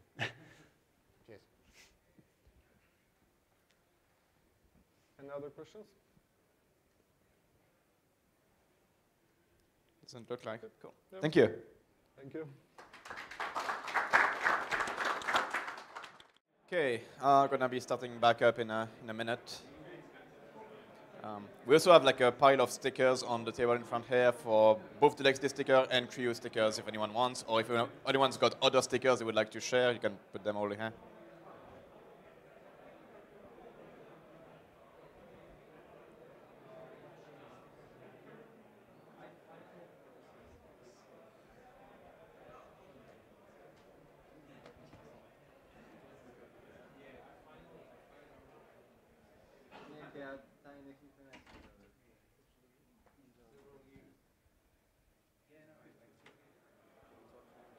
Yeah. Uh, hello. This one. good, Yeah.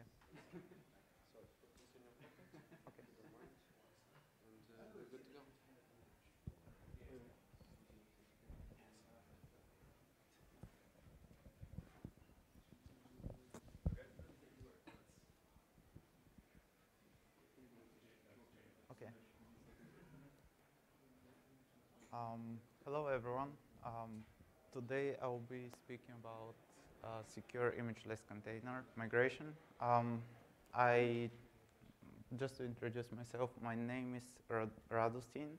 I just graduated from University of Aberdeen, and I'm about to start my master's degree. Um, so one thing we were working on was basically to automate um, the way we transfer image files and to do that in a secure way. So um, the first step is to look at how the lazy pages daemon actually works. So when CRIU um, does post-copy migration, we we have to start a lazy pages daemon, which then um, is used to uh, handle userfaultfd um, interceptions. Um, when the dump site um, is, is being called, it creates a set of image files, and these image files have to be transferred over the to destination site, and they don't contain the memory pages, which is probably the largest in most cases, the largest part of uh, the checkpoint. Um, but it still, um, it takes time to first start the lazy pages daemon and um, also to, um, to send all the image files. And if we want to introduce encryption, um, how do we do that? So one, one way is to pass a file descriptor. So we create server, we pass the file descriptor to CRIU, then CRIU writes to this file descriptor. But then we have to read from the file descriptor and um, encrypt the data that will be um, sent over to the network. And then we have to basically decrypt the data on the destination site and then write it back to the file descriptor that CRIU is using. So one way to optimize that is basically if we ask uh, CRIU to do the encryption and decryption. And this is basically the idea that we wanted to introduce. Um, so basically CRIU um, is using a certificate installed on the host itself and then um, performs key exchange and once the authentication is complete, it um, just um, encrypts the data and decrypts on um, when sending memory pages. Um, so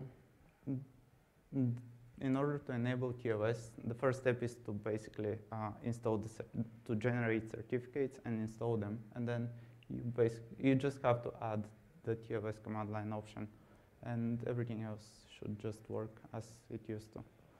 Um, the next step is basically how to automate the transfer of image files. So there was a previous work from Rodrigo Bruno who implemented um, image cache and image proxy, which is a way to basically create a proxy server on the source side and a cache server on the destination side both create a Unix socket, and then the dump writes to, CRIU dump writes to this Unix socket. Um, image proxy will basically read from the socket and will send the data over to image cache. Um, image cache will keep the data in memory buffer, and then when the restore site connects through the Unix socket, it will read the data back. Um, the problem here is that we have a performance overhead. We basically write the same data once to the image proxy uh, cache buffer, then this will be sent through um, over the network to image cache, and this will be written again, and then um, CRIU restore will basically read the data one more time. So it, it's not very efficient way of doing that. And um, this is how you can actually use image cache image proxy. You basically have to start the cache daemon and the proxy daemon, and then um, you basically pass uh, the remote option to dump and restore. And then instead of writing to files, it will basically always write to this Unix socket or read from the Unix socket. Um, and the way we want to optimize that is by um, using a single TCP connection. So when you start CRIU restore, um, it will create a TCP server. And then with CRIU dump, you can basically um, connect to this uh, TCP server and send all the data that you basically send the images rather than saving them to files. You can basically send them over the network. And we already have the TLS encryption, so um, we can basically, instead of using send, you, we can use GnuTLS to encrypt the data. Um, and the way you can use that is basically um, by adding the, the port option to um, CRIU restore, and this would create the actual server. And then with dump, you can um, use port and address to connect. Um, and the way we implement, we could implement pre-copy migration is by using predump. So one thing is that predump, what it does, it's actually creating an inventory image. It's creating um, checkpoint of the memory pages. And so all other images are not, um, they, they're not being tracked currently. So what we have to do is basically we have to transfer the memory pages to the next destination site. And then if we have another call of predump, then we receive another instance of the memory pages. If some memory pages have been changed, then we can basically overwrite the existing ones on the destination side. So we don't need to keep the parent relationship between previous dumps. Um, and when the final dump is uh, performed, then the restore process can continue. And the same could be done with uh, PSSocket. So um, we, we can just pass a file descriptor and then the remote site, instead of creating a, uh, a socket and then um, performing everything with it, it would just use the file descriptor that was passed. Um, and so the challenge here is how do we handle the special image files? For example, the temporary file system, it's currently like a, a CRIU calls tar, and tar creates a zip file, well, um, a tarball, and then this is the actual image. So this image has to be transferred to the destination site. And the problem here is that we don't know how much space we need um, in order to allocate it. So the way this is currently implemented is by writing to um, image proxy in a set of buffers. And then after the write is complete, we know how much space we, we have used, and then we can send that to image cache.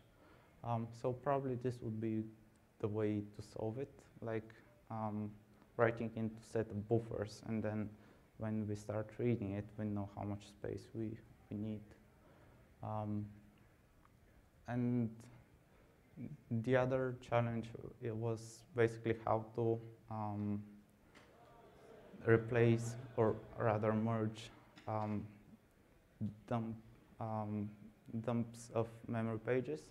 So we have to identify the memory pages that have been um, modified and replace them with the new version and then keep a single instance of every memory page.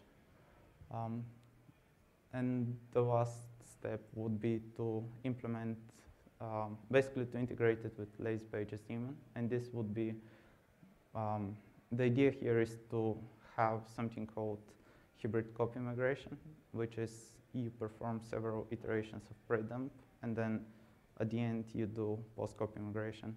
And um, all memory pages that have not been um, have been modified and, ha have not been sent in the last step um, will be requested on demand. Um, so the, the idea is that Lazy Pages daemon is currently running um, as a separate process and it's creating its own uh, TCP socket. So the way we can integrate um, the remote option with lazy pages daemon is by um, basically reusing the same socket that was already established. So we fork and create the daemon again, but this time uh, it's just using the socket from the remote option. Um, and this is from me. Um, thank you. And these are some of the links to um, my current work. Do you have any questions?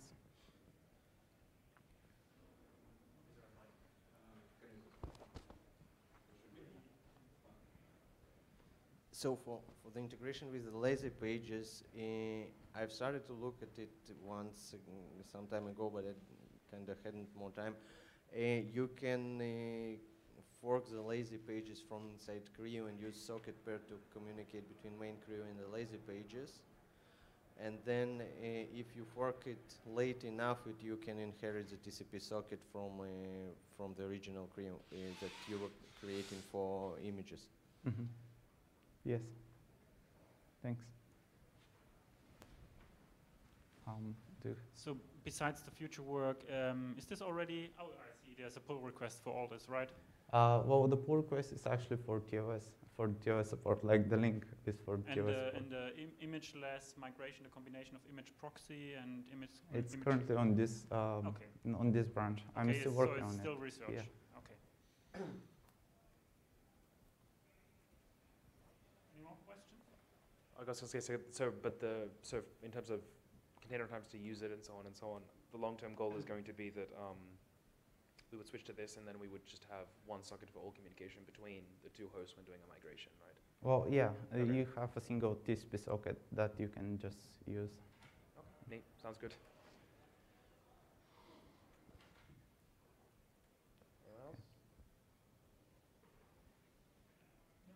Um, Andrei, do you have any comments about this? Um, do you think we should?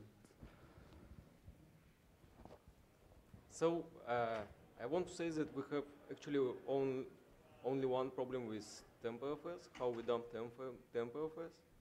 Uh, the problem with uh, IP addresses and routes, it, it can be easily solved if we will dump uh, if we will dump routes and addresses in CRIU instead of running IP2. Yes. Yeah, so okay. So the only challenge is TMPFS, and how do we solve it? Yeah, that? and we can think how we can. Uh, right now we use uh, tar to dump TempFS to files and Yeah. content of TempFS mount, but actually we can implement something in CRIU to, to dump TempFS and just. Yeah, we just we will not need to start tar, and we can use our own protocol for this, and we will remove this dependency too. Okay. An understanding. So the problem with tar is that uh, on the receive side, you don't know how big the TempFS mount needs to be. Is that what it is? Well, i- it's kind of like that. Like you, you basically don't know how much space you need to allocate. So um, you can create like a small buffer. The way we currently solve that is by creating a small chunks, and then re- keep receiving until um, um, until we until tar finish, and then basically we just read from the buffer when we restore. Oh, because you stream tar, you don't. Yeah. uh, okay, right. right. Because I was going to suggest why not send the size ahead of time, but it's because you stream it, so you don't know what the size will be. Yeah. Okay. Um, is that everything? Or? Okay, thank you.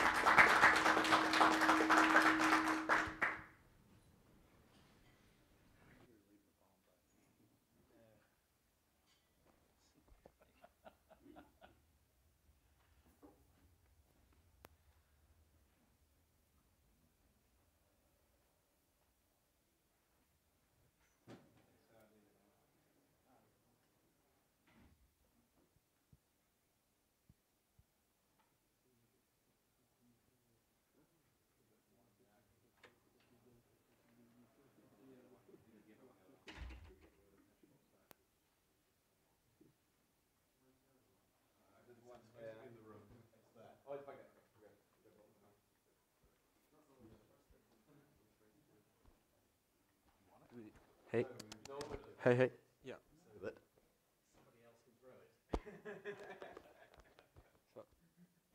You have it right here.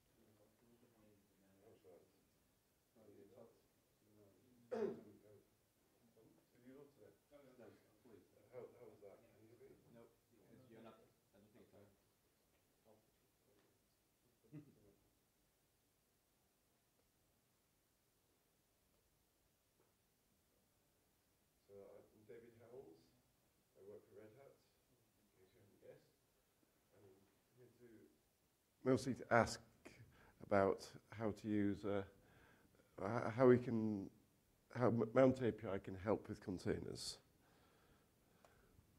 So here's a rough example of how the new Mount API works. You open a file system, and then you set configuration parameters using new, some new system calls. You create a mount point, and then you move it into place. I, I've missed out some parameters here. This is just a rough illustration to make it easier to understand what I'm going to talk about next. So the, the first thing is with, the new fsconfig system call, it gives us the opportunity to do things like add uh, UID and group ID, user ID and group ID translation tables to a mount point, so, uh, to a new super block or to a mount point as we uh, create it, before anyone else gets to see it. So that when, when people, other people can see the, uh, the published mount, it is already set up, there are translation tables in place. And the, what I'm trying to do is make the translation be done by the VFS, so you don't need something like ShiftFS to mount on it to do the, the translation for you, because mounting uh, an intermediate uh, file system has some efficiency issues. So James is about to disagree with me. No, I'm. I'm not disagreeing. I'm just asking where are you doing the translation? Because we have to do the translation underneath the file system, not on top, because the user namespace does it on top. Yeah, we've been discussing that with Eric, and there are two points of translation that we can deal with. One is actually in the file system, so we can s- install translation table on the super block that translates device IDs to K, uh, KUIDs and back again. That's one possibility. And the other is to add an extra uh, translation table into the user namespace, where you can put uh, translations from particular use KUIDs to other KUIDs. And then we would look this up at. Uh, yeah, we can, get- we can cache, cache these in certain places like the credentials. Yeah. Have you got a mic? Give me a microphone. Yeah, so if you, you know, the, the credential, since it's just this, only represents w- one point of translation, you can cache the translation if you only have, um, you have it in the user If it, namespace. if it helps, so- so I have a do that. picture. Yeah, yeah, yeah. This is what I was thinking of uh, before I talked to Eric about it at lunchtime, or Yeah. just before lunchtime. Yeah, um, yeah, and the challenge is we, you know, if, if these represent, if these would be like the struct cred for those, those guys, you do, it- you do, do the translation in here between the KUIDs of the file system. So, so, but we might want to put an asymmetric, an asymmetric translation over here, so that if, so, so if you do Mukta, it uses that Mm. translation. But if you're reading this file with that or file with that, it translates it to that. So that uh, you can have files with different UIDs appearing as the same UID in the container. But if you create something, you know exactly what it's going to be later on. So when, when it appears on the medium. So what, what Eric was, that, that's the superblock translation there there. But Eric was suggesting that we need another translation there here because these may be actually be represented by different KUIDs and I didn't realise this when I made the diagram. So, anyway, th- th- this is a possibility we're looking at, looks like it has potential. I don't think we have, have any code for any of this yet, right? Uh, just borrow this, just the stuff that's already in the user namespace. Okay. That we could hopefully make use of. Yeah. For this. So, that, that's the potential of the Mount A- API. Did you ha- ha- have more you want to talk about Yeah. uh, th- th- th- than the um, translation possibility? Yeah, because well, another thing that occurs to us, if you got a translation table on the superblock, these do not have to be U32s. These could be str- name strings, so like you get from NFS, or they could be, say, UUIDs, like you get from CIFS. So this could be a blob rather than a number. And that would make it easier to translate, potentially make it easier to translate very foreign user IDs from a network file system. So your plan is to replace the NFS UID translation daemon as well? Not necessarily. That could add translations to the table potentially. Okay, well, I get it's theoretically possible. We still have to see it work in practice. Anyway, any further yeah. comments on this bit before I move on to the next?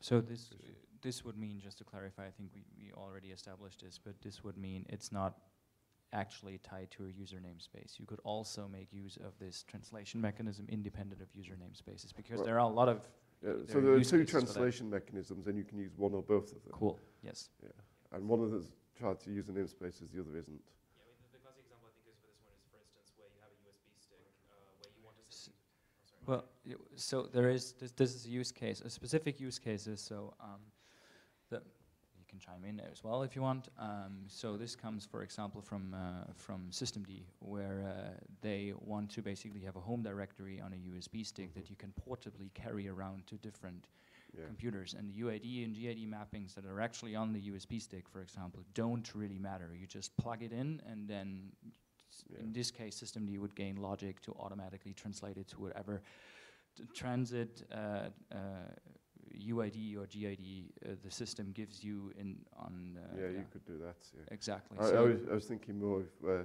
your your your computer, your, your computer, and you there's a server over there, and you've been allocated user ID on it, and uh, you So- translate that to your own user ID. So this is hopefully it's probably fine to talk about this, but this is actively being worked on in, in systemd, um, and so the way they're doing it right now is I think that the, the solution to have for this, if you want to do something like this, is just re- brutally recursively chown, um, and so this would let you get around all of these limitations.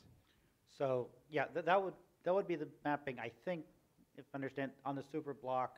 And that, and what we're Yes. talking about is something roughly equivalent to generalizing NFS's um, user ID Sure. mapping, so they, it can be u- used with more file systems. Yeah. Or, or FAT's one as well, yeah. Uh, I'm not sure if that has no, no, user there's IDs, the- but Is it FAT? Uh, no, I think, no, NTFS, sorry. NT, Um, NTFS, yeah, NTFS. they have uh, gu- U, UID, UIDs GID or thing, yeah. GUIDs. I- Yeah, yeah, so Yeah. same thing, but Yeah. um, generalized, yeah. So, it, yeah, it makes sense to have a generalized layer Yeah. Um, that, Yeah. that- that, that goes to the file systems. Um, Now, the, that doesn't solve the many-to-one problem we need for a shared route. Sure. Yeah. Yeah, but it solves the, the rest of them, so it, That was the other translation table. Yeah. The one over this side. that I haven't actually got on the diagram. So, any other comments on this before I move on? Nope. So, how to uh, make use of uh, the mount API to do unprivileged mounts inside a container. We have a file descriptor, fs mounts, uh, sorry, fsopen gives us a file descriptor with a, an, uh, an object inside the kernel attached that when you do fsconfig, fsconfig, fsconfig, it attaches the parameters to the object in the kernel. You then call fsmount to actually create your mount point. At that point, the possibility exists that we could talk, suspend the process that's doing the mount and talk to the container supervisor, whatever that happens to mean, and say, here's, the file here's a file descriptor pointing to FS context, uh, context the, the object in the kernel. Tell me whether I can allow this or I should reject it. And also, you can make alterations to it. So that you can set certain parameters. You say you must have that parameter. So fsinfo is something you haven't seen yet. It's been pushed a few times, but it's not upstream yet. That allows you to look inside the context and ah. read the parameters from it. fsconfig is the same as before. You can, so you can set parameters, delete uh, parameters. The, the This is basically the mount equivalent of the seccomp notifier of the. Uh, to, to might s- be, yeah. To some extent, yes. Yeah. Sorry, you went around. Um, yes, so this would be an up call, right? We Uh, yeah, so, yeah. So- Basically, I, I, s- I say to the manager, the kernel says to the manager, attention needed, the kernel, and somehow we get the file script to, to the manager when he asks for it, and the manager says yay or nay, and possibly amends the thing, and it can Right. re- read the parameters. I, I guess the question, w- I have a question, which is, would there be a plan to make it so that you can um, uh, filter down? Because the, the downside is that, sorry, with seccomp user notify, you couldn't filter this even if we had deep syscall inspection because you have an FD, not a struct that you can Yeah. inspect. So I guess the question is, is that, fil- so filtering what? What do you mean by filter it? as in, you could say that um, You mean I only, I only want to be able to do special operations on some, on So some are you talking about with. S seccomp? Yeah, what I'm trying to say is that uh, because because this is not using seccomp, this is going to use an upcall or something like Yeah. that, like a different mechanism. My point is that uh, is that is there a plan to make it so, for instance, you could make it so that it, you filter, so you say I only want to get an upcall for these particular Oh, uh, mounts or something like that. 'Cause I hadn't considered that. That would be a poss- distinct Okay, possibility. Right, yes. because This but is- with you couldn't do. The point Yeah. is you couldn't emulate this with seccomp Yeah. if you could filter on a file system because there isn't a way to do it uh, with, with seccomp. I, I, But that is, Yeah. there is, isn't there? Because the, we can get access, as long as we know the PID that instigated this, we can get Proxys PID, and you're privileged enough, Proxys PID FD. So you get, can get hold of the FD as long as you know its number. Oh, right. right. No, sorry. What, what I mean is that um, no, no, sorry. You Right. could do it, but you couldn't emulate in-kernel filtering because um, uh, I- even with even with I uh, could, I could provide in-kernel filtering, yeah, I, yeah. I was just I was just But- asking as in, is there an idea to have something like that? Yes. but it would require support from the file systems probably, because uh, to, to do anything other than file system type and probably file system uh, source, Mm. because the parameters are, uh, are effectively compiled down into Okay. This the is file system in, ID. in, in general, I like uh, in general I like the idea, but it points to me. Maybe I'm just thinking wrong, but it points to a more pressing problem that we have, and I'm not sure if you're going to address it on the next slide, which is before we have supervised unprivileged mount, which is very advanced, we should probably have a way to mount across namespaces, mount namespaces. I have no problem with that. So this is really a problem Uh, right now. I mean, we The, the, the problem is not technical, it's Al. He doesn't like the idea of doing this. No. Mount Move doesn't, did it, you, No, Mount Sorry. Move will not move across namespaces. No, but I, but what, can't you do, so, last time I looked at this API, it supported this, you do the thing that creates the, the anonymous namespace, Y- y- and then you mount move it Yeah, into well- another namespace. Yeah, well, You, what- you, you clone it, and then you yeah, attach wh- it. when I first did this, I had it so you could mount into another namespace. Al has taken that away. He thinks that's a security hole or something. I'm not quite sure. And we, the thing is, the thing is, from a from a containers perspective, that's something we really need. Uh, b- and because right now we have like hacky workarounds, so it's it's possible to do this abusing mount propagation. Um, Okay. So it's it's also it's it's unclear why this would be a security issue if you can do it uh, uh, through mount propagation. Actually, this was regressed uh, because of the new mount API, uh, which you and Al fixed after I reported it. So he seems apparently fine that this is possible, Okay. right? So mount propagation, you have you, you have a basically you have a shared mount path that you set up uh, before you start the container. Uh, then you mount on the host side onto that shared mount point, and then inside of the container you do a mount move. Ah, At which point you have the mount in a container, you can unmount from the host, and you have injected a mount into a container. But that's really, I mean, that's really hacky, right? yeah. Would be way nicer if the container manager, without the container having had a shared, basically a tunnel into the host, could just say, Yeah. "Give me a mount in there." Because when I first did this, you uh, you was with the c- kernel container object, which various people objected to. But what it, like you got the file descriptor from that, and you could mount using that uh, as as in place of AT_FDCWD. So that the using a move mount, you use a path of the file descriptor plus the direct file base direct file descriptor in the path. And so you could use that to mount loads of things into the mount tree referred to by the container object. So if I've got a file descriptor representing a mount, uh, a, a mount namespace, I don't personally see any reason why I shouldn't be able to use move mount to move new mount into that. Well, Al doesn't like it. so he- he- here's my question. and I'm, maybe I'm completely confused. Um, because I know the code looked like it supported this earlier. Um, is if you do, wh- whatever the copy tree thing is, that, that, that creates you, you a floating set of mounts in its anonymous mount namespace.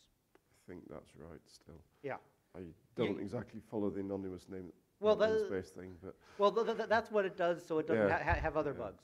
Um, but yeah, it's this Yeah. floating set, set of mounts that are c- attached to your file descriptor that aren't attached to anything real. yeah.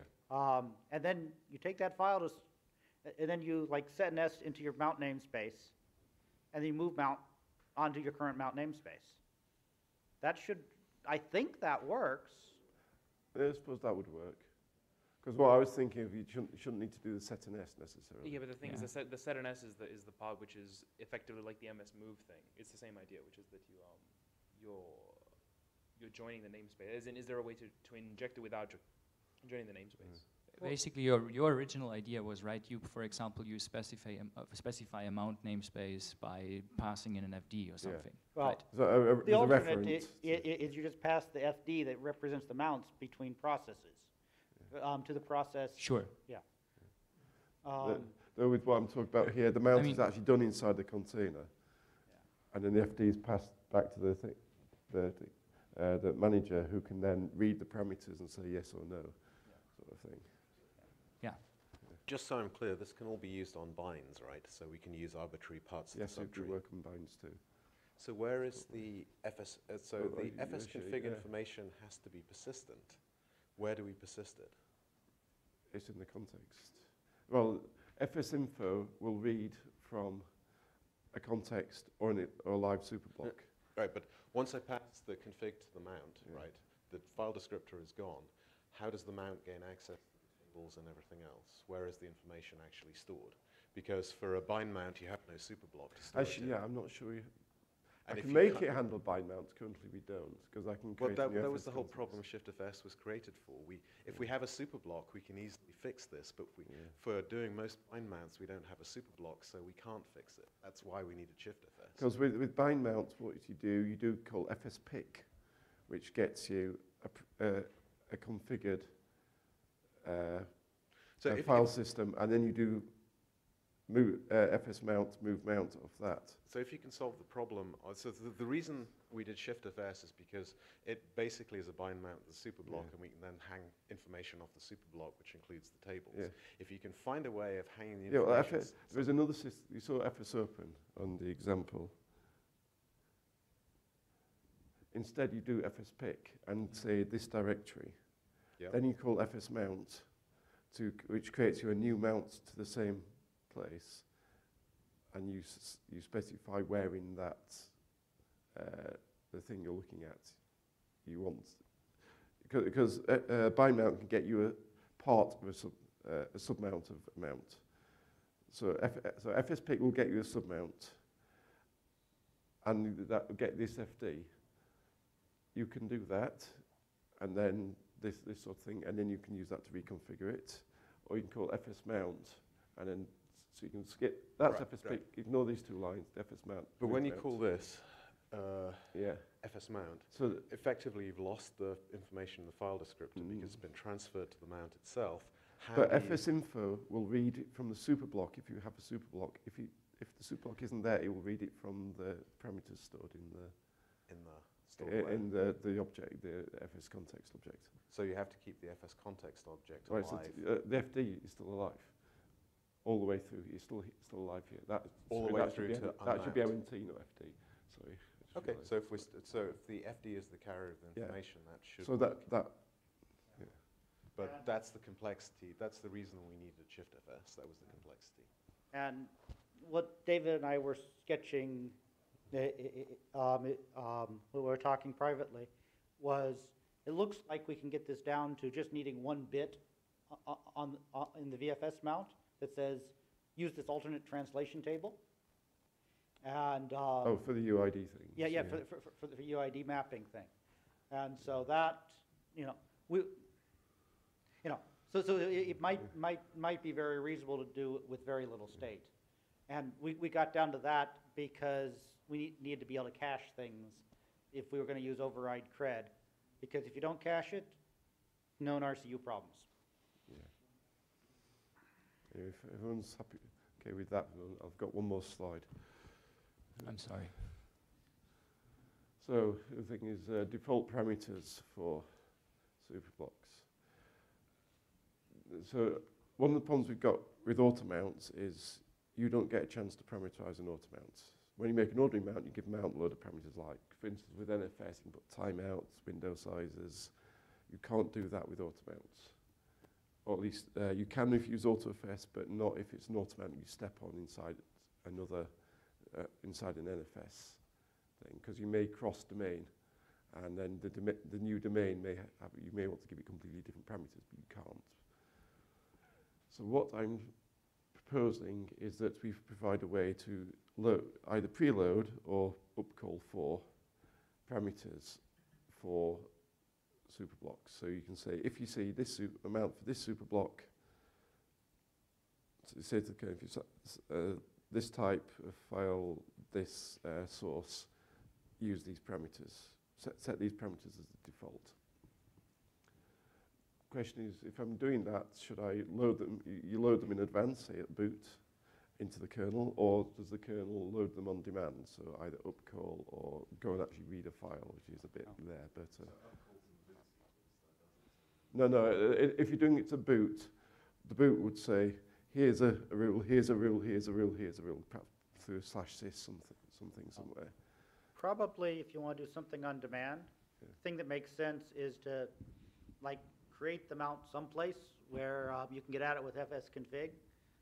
Set, uh, send a notification to user space and user Yeah. space use the Yeah, that's one tools. possibility, yeah. Yeah, um, Sa- same as the previous thing. Yeah. The, the rules on it is, uh, here are, please give me default parameters. That's a po- one possibility, yeah. So would this be useful in, for containers too, this sort of thing? Particularly for cont- unprivileged mounts, you preset the defaults and then you can rule on it again later. I don't know for uh, for containers, but this again seems like something that might uh, interest uh, something that is an init system, um, because they have much more use for this than I, I guess the the container case.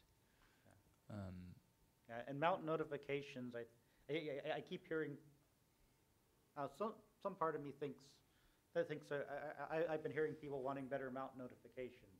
To to know when a mount happens so people can do something. I have Right, something so- that does that. So I don't have a slide on um, it. ab- absolutely, for sure, um, uh, for sure.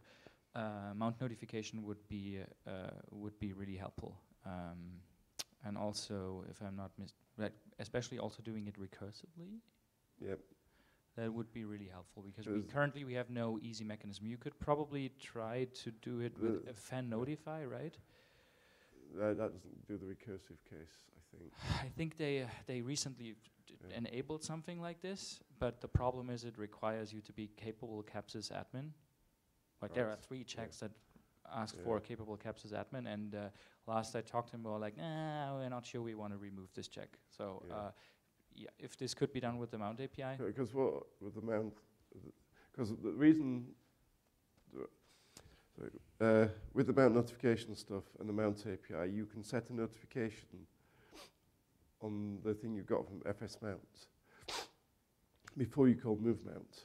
That means if anything happens once it's attached to the mount tree, you start seeing notifications immediately. There's no gap where you miss notifications because you've got a, a mount, uh, you've got a watch in place already.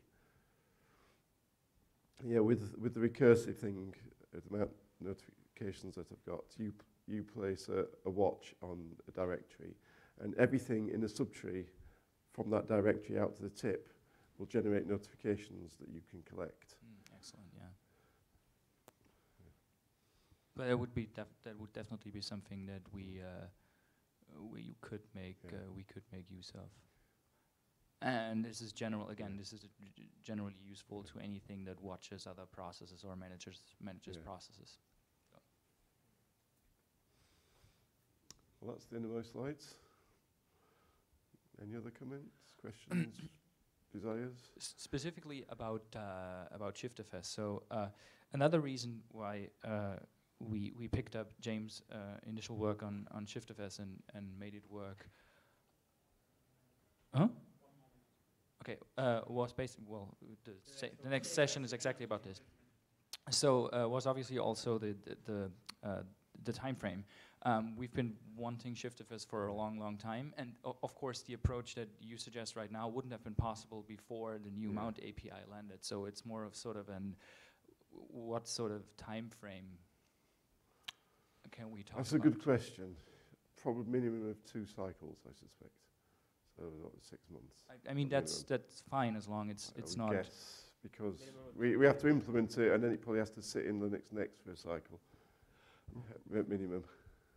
I mean, as long as it's on a minimum of two Sure, years, I and think it's that's a- and it's Yeah. need it needs reviews, but it would would probably in terms of speed, it would probably be good if you were the one to do it, because you're sitting at the source. I'll add it to my list of other things. Uh, yeah, well, it's on, on my list to do.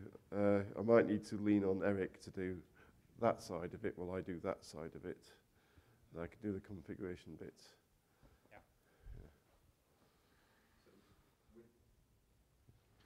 Which kernel version did this actually go into? The uh, Mount API. yeah. Five two. Uh, two versions ago, I think. So Five one or five two.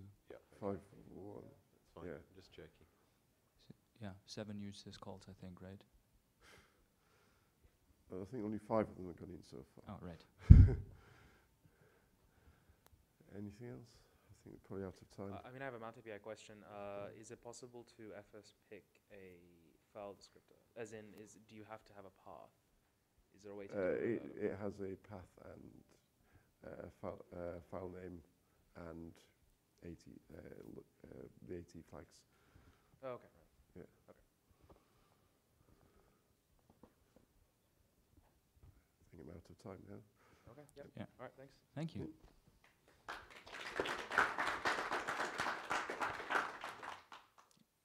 Uh, and thanks, the Mount API was really needed.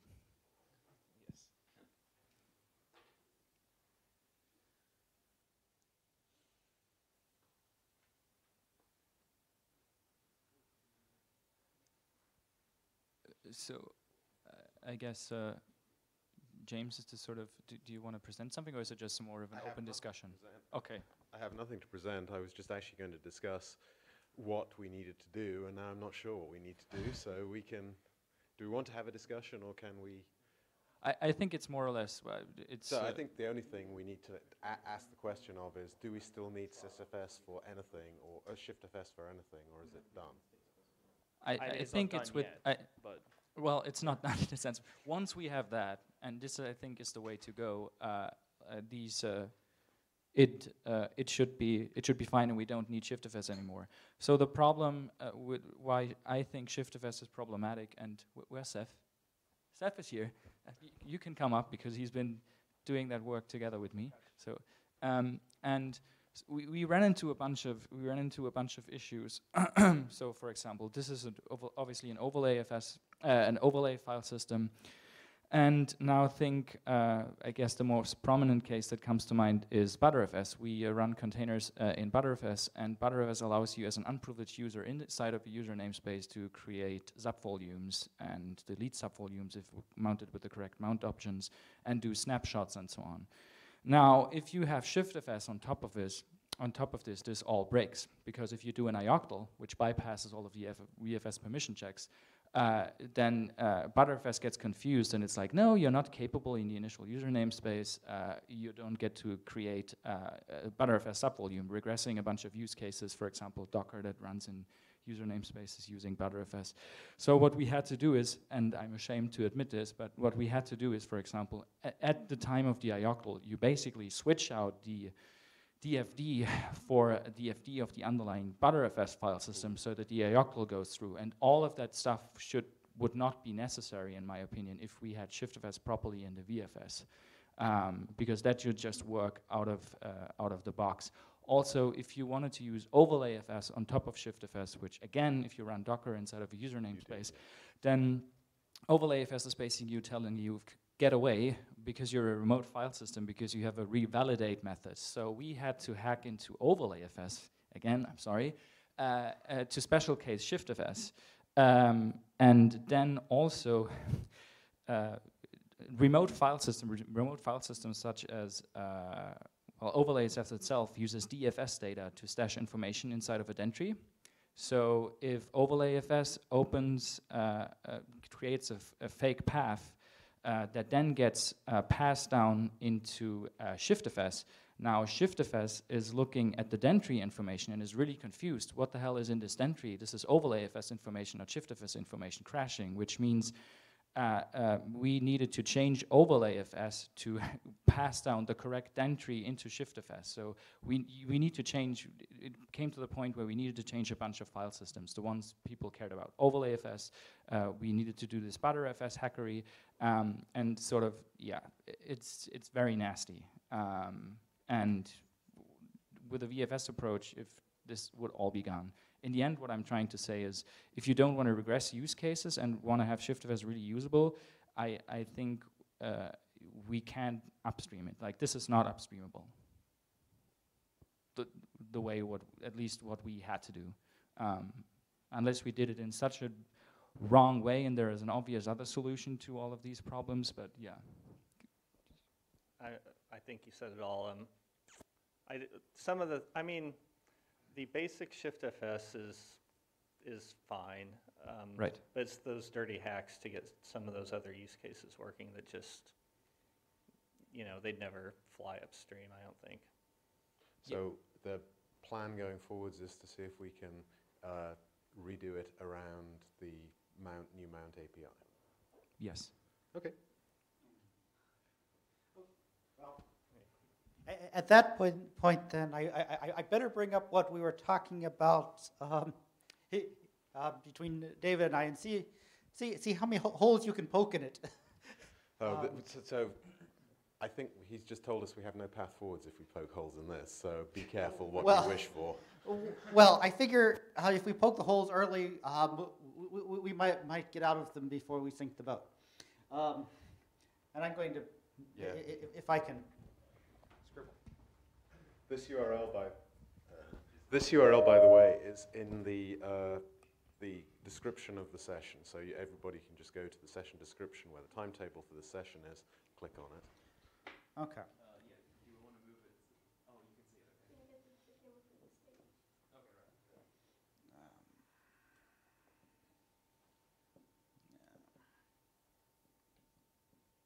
So I'm, I, I, I, I'm trying to replicate the diagram. I, I, I was using, as I thought about this while talking to David. Um, so start with two containers. Um, inside UID inside the first container translates to KUID 5000, the other one KUID 6000. Um, all right, and okay, let's see. Um, let's see.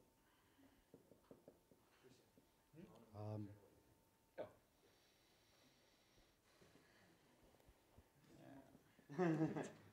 Move with that. Um, so, s- s- um, let's see.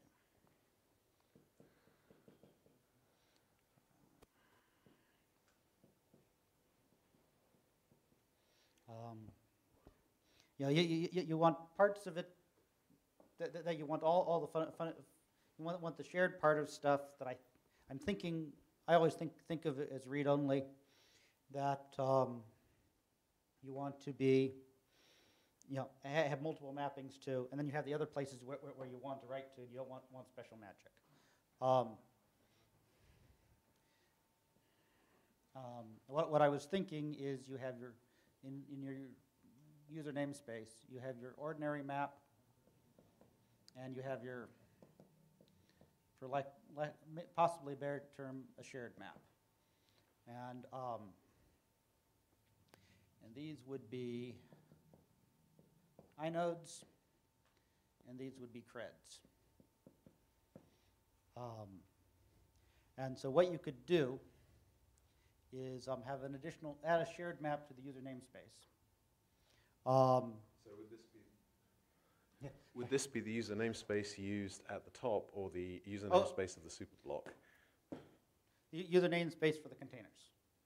So what do we do if we have a superblock namespace as well as a user namespace? Um, that, the, the, the, that, that, that, that just goes to how these KUIDs. So this is going to be a generated. private translation in here? Yeah. Okay. Yeah, this is the file system specific translation from the files on disk to KUIDs. So, you know, and, and and when you, and you, when you mount your USB stick, you really care, care about that translation and how it's going to work. And we probably want to make a general layer, but for the, the container case, we, we want, want the one to many. So this file goes to both of those, looks like a, UID, owned by UID zero. Yep. Um, so, got as far as that, you know, now, with, what the shared map lets us do is if we have a bind mount here. Um, you know, we, we just have a bit that says, use your darn shared map, um, on the bind mount. Um, and then, and then we can cra- cache a second cred here that, uh, that if you're share, you know, a, a shared cred and your existing cred that goes to KUID 20, you do override cred and use that one when accessing um, through the bind mount. I- So can we not be more simple? Is there any need for a shared map? Because the statement is we're, we're fictitious root to real UID, want to write or read back from fictitious root again. we always reverse, we're, the only use case I could ever find Ah. for ShiftFS was when we were reverse mapped. Oh, I, oh, yeah, um, so my, my expectation is UID, well, okay. Um, so th- th- th- there might be a way to optimize this, yes. Um, you know, because everybody wants to go to the same UIDs in their container. There might be a way to optimize that. I, you know, and that's very, but, but this caching here is fundamental. Um, Bec- um, and so, yeah, yeah, yeah, yeah, so, yeah, I, I'm all open to the simplification you were suggesting. Um, I was think, I, I actually was, um, had, had a sim- similar thought on my, my way in, in here today. Um, Okay, but But- th- this is just an implementation detail, it doesn't matter. Yeah, yeah, But yeah, the point yeah, is, yeah. w- we have to convince Al to give us an additional flag in the VFS mount. That's the Well, problem. VF, well, a flag versus a data structure, much easier. Um, I, I've added several.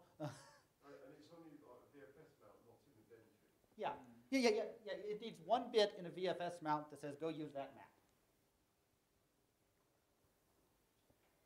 Um, and, you, you, you, the- the hard part, um, to convince Al and everybody of, is the, in every, in every syscall, especially open, um, adding an override cred to that one instead of that one. Um, when, when at the syscall layer, we're, we're- we're going in and doing that.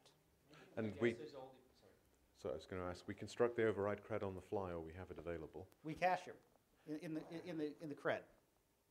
Okay, so from the cred we can go Yeah. to the, okay, You know, and- that- keyed on the same flag. Yeah, and, you know, that's the advantage of putting in, in our user namespace, because we only have one. So may, if you have two or three file systems that you want this mapping to apply to, you know, the shared mapping in your namespace, they all have to have the same U, UID mapping, but I don't think that's a real limitation. This isn't very expensive though, right? Uh, I mean, if, uh, at open time, if we have to override cred, so what is your, Override cred is cheap. Generating a cred is expensive. Yes, okay. And so this That's is, the we ca- cache that's why the the caching is- yeah, sure. Yeah, Um, and, and this is a, th- we follow a pointer and we put it in the task struct. Yeah, um, I must admit, say- Oh. Yeah. Yeah. In, in many ways, destroying the cred is actually the worst bit because it gets deferred, and so you can uh, wangle your system by doing something that does create loads of creds, bang, bang, bang, and then try and destroy them, bang, bang, and then they just eat memory and eat memory and eat memory until eventually the RCU uh, thing, thing, the RCU cleanup runs. And if you're not careful, you could actually run out of memory. We had this problem with access Yeah. recently. Hang on, I have a question about, uh, I'm, this might be obvious, but um, uh, presume this can cache multiple, because obviously if you have something from here mounted here as well, um, how do you know which cred Well, to use? Well, that's what I was going to ask. So where is the cache? So this is, in your cred, you have a cache Okay, it, the, the thing that makes this fast and simple and cheap is in your cred, you have a pointer to another cred. That is, if y- y- your shared cred for all, all this shared stuff um, you're bringing in. And you have, and that's it. You know, so you only have one KUID um, that, that, that- that, your UID can map to. Uh, but, but, Um, you know, but one, one shared one. but what if you have uh, two directories? One of like again in this case, imagine if you wanted to mount this in here.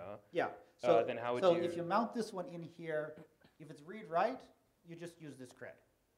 If you, you, that- that's the normal case using this cred, but it's either this cred or this cred. It's either your but, but shared one but or what if we want to shift that one as well? Um, Yeah. His point is this is K20, this is not Yeah. really root, this is K50. We need a K50 cred somewhere. yeah. Oh, yeah. Oh, yeah. That's. So presumably, it's a, presu- sorry. Yeah. Good, presumably- good, good, good point. At That's least, great. yeah. You know, if you. No. Okay. If you go to, go to do it to K20 then, or K500. K five thousand, which is, a- anyway, that, i normal read write case is that. Um, you know, having multiple, ha- ha- having more than, m- m- m- more than one This or two. point is this diagram is wrong, this should be K20, right? Oh, well, no, no, no, well, oh, this is just some arbitrary other file. Um, I guess my point is that if you wanted to have multiple shifts, sorry, is with, with the system you wouldn't. Sorry, with the system you wouldn't be able to have multiple shifts of things in Yeah. one user namespace, basically. right, The point Okay. is multiple shifts are really just not used. Usually the shift is just a reverse shift of what this mapping is. Right. It's either you flip, you, you flip it to reverse or you do nothing with it. Yeah. And those two cases would be covered by one cred plus its cache cred. Uh, well, so. So, I mean, Yeah, y- yeah, y- y- so f- currently for the current cases we do, that is true, because if we ne- needed to share data between two containers, we would store it and shift it on the host and shift it to both of them, even if they've got different maps. But there's, in theory, nothing preventing us from actually wanting to share a file from one container straight into the other. Um, Both being unprivileged, both of different maps. and just, you know, and that's where things get, you know, you know, there, there's, there's theory and there is accelerating the common case. And this is excel, about accelerating the common case, um, and making it fast and cheap. So you, now, the one part that this, th- th- this thought design does not cover right now is where do we put it, put, uh, put in here overlay FS?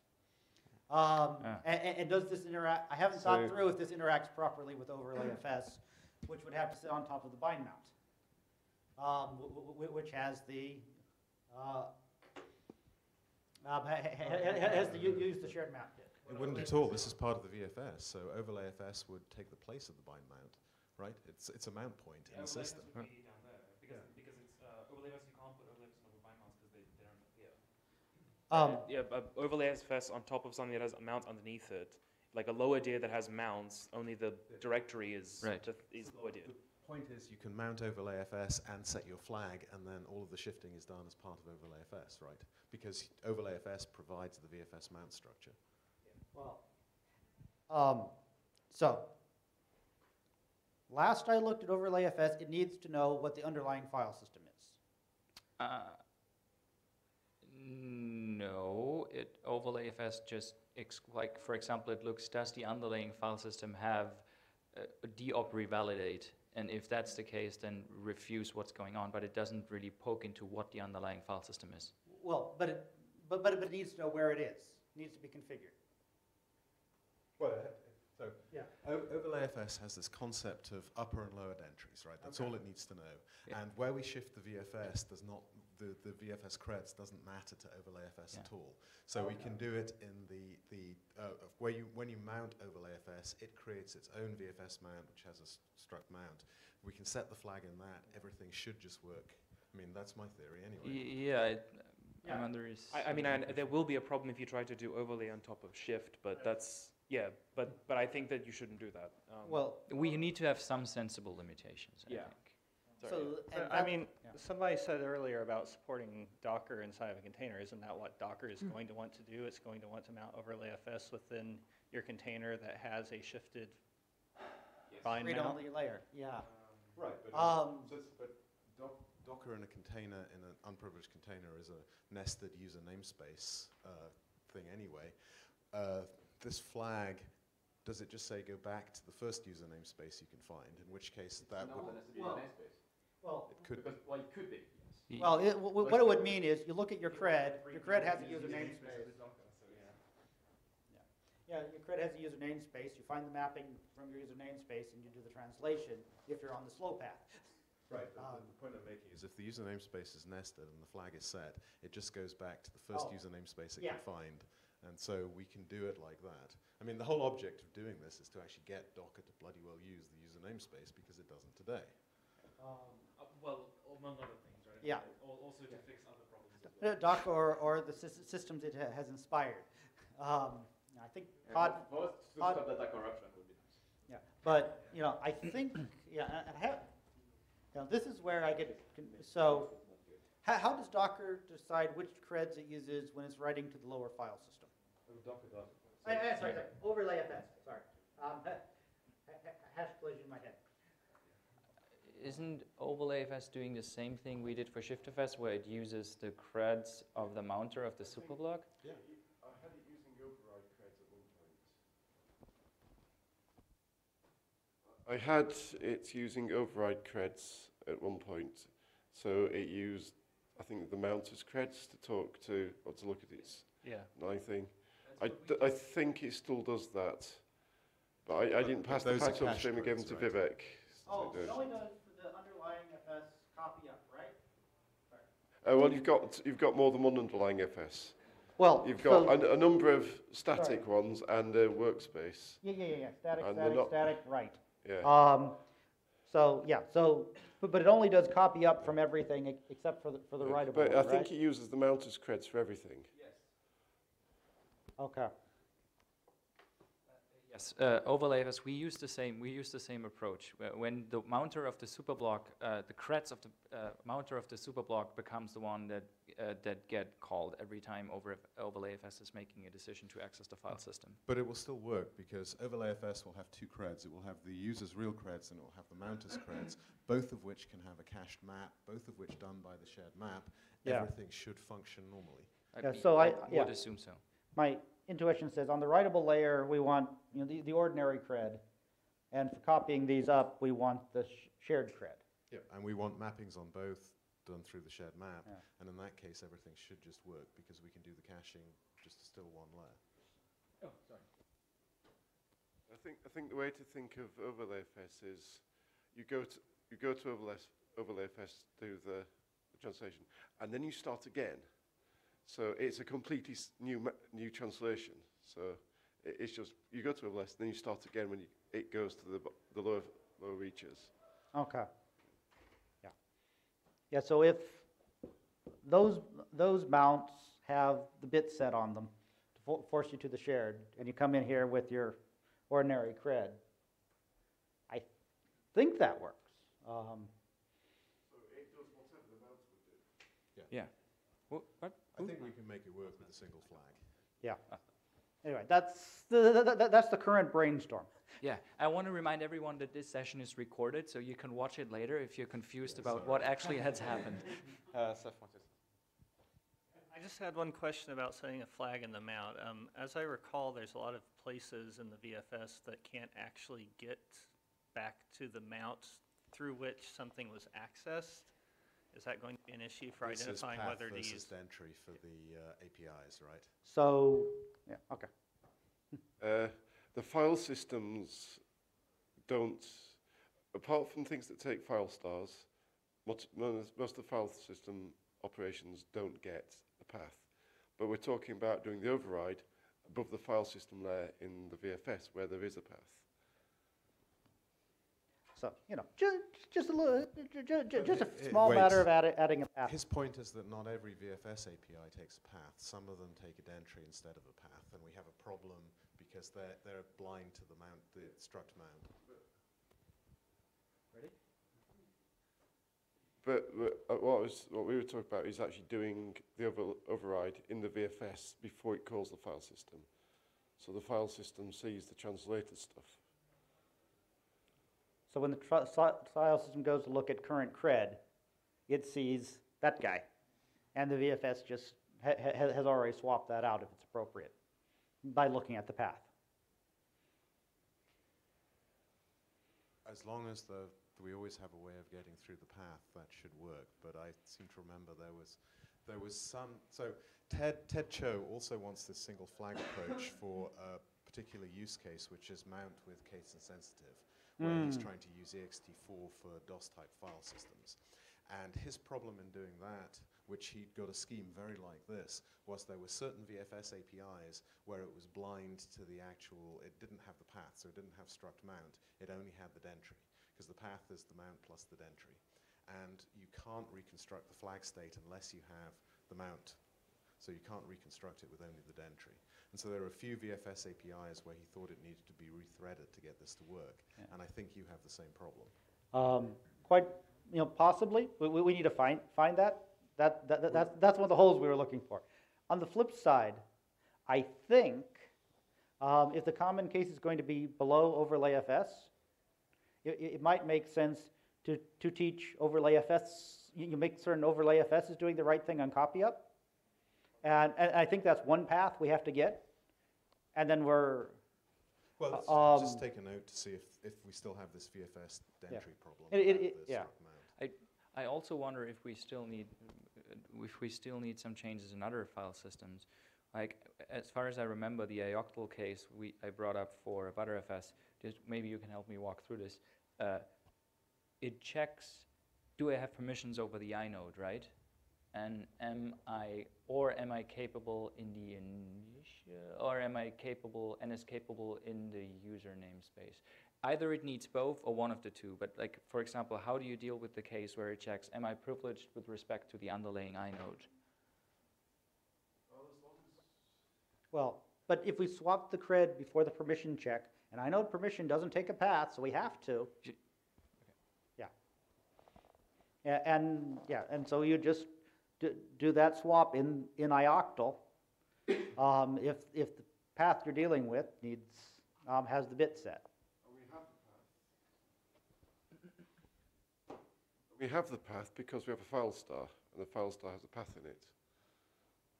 So even the, ioct the ioctl call has a path available.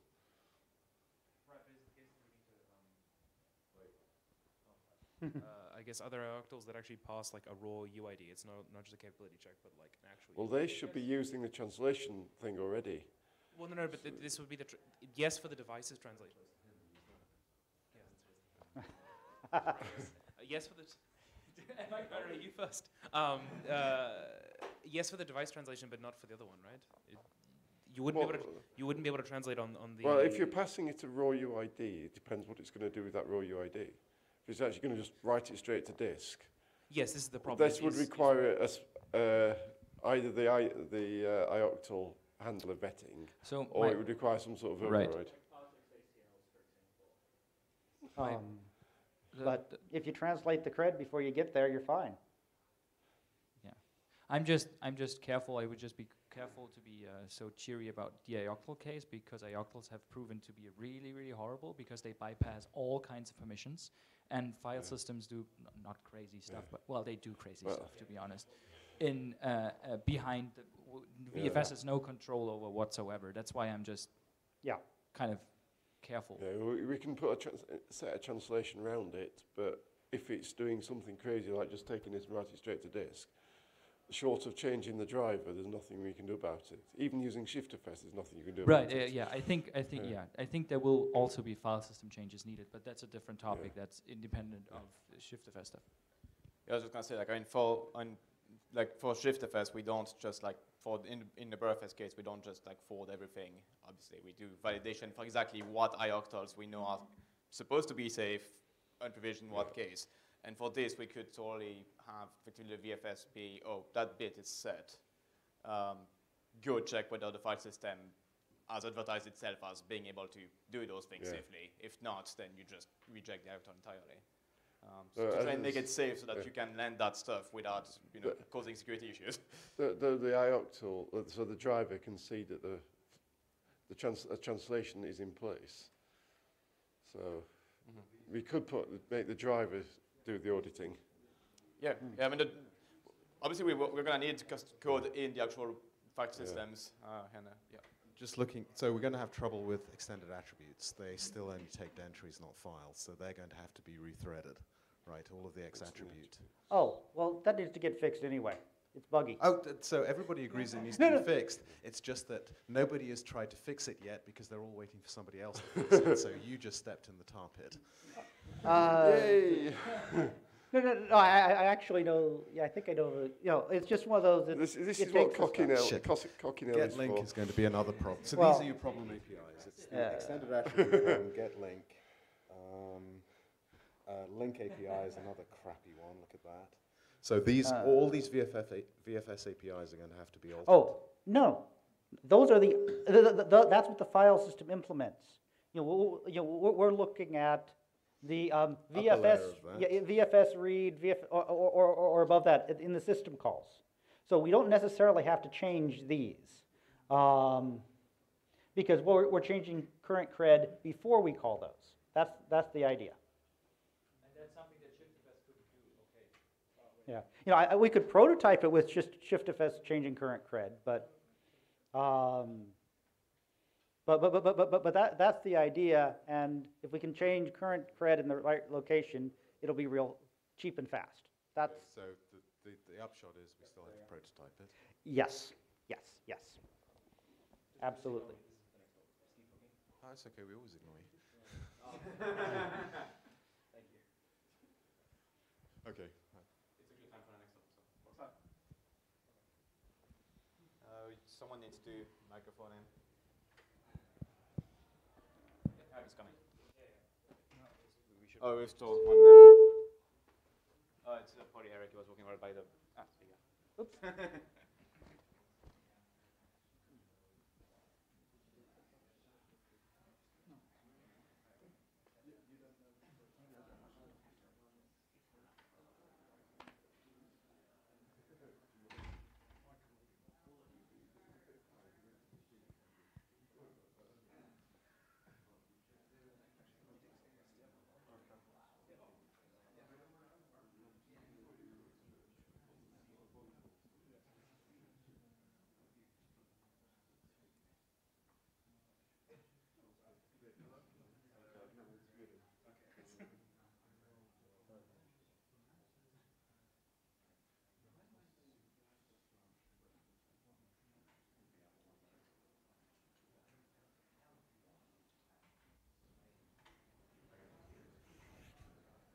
Hello, hello, hello. All right, awesome.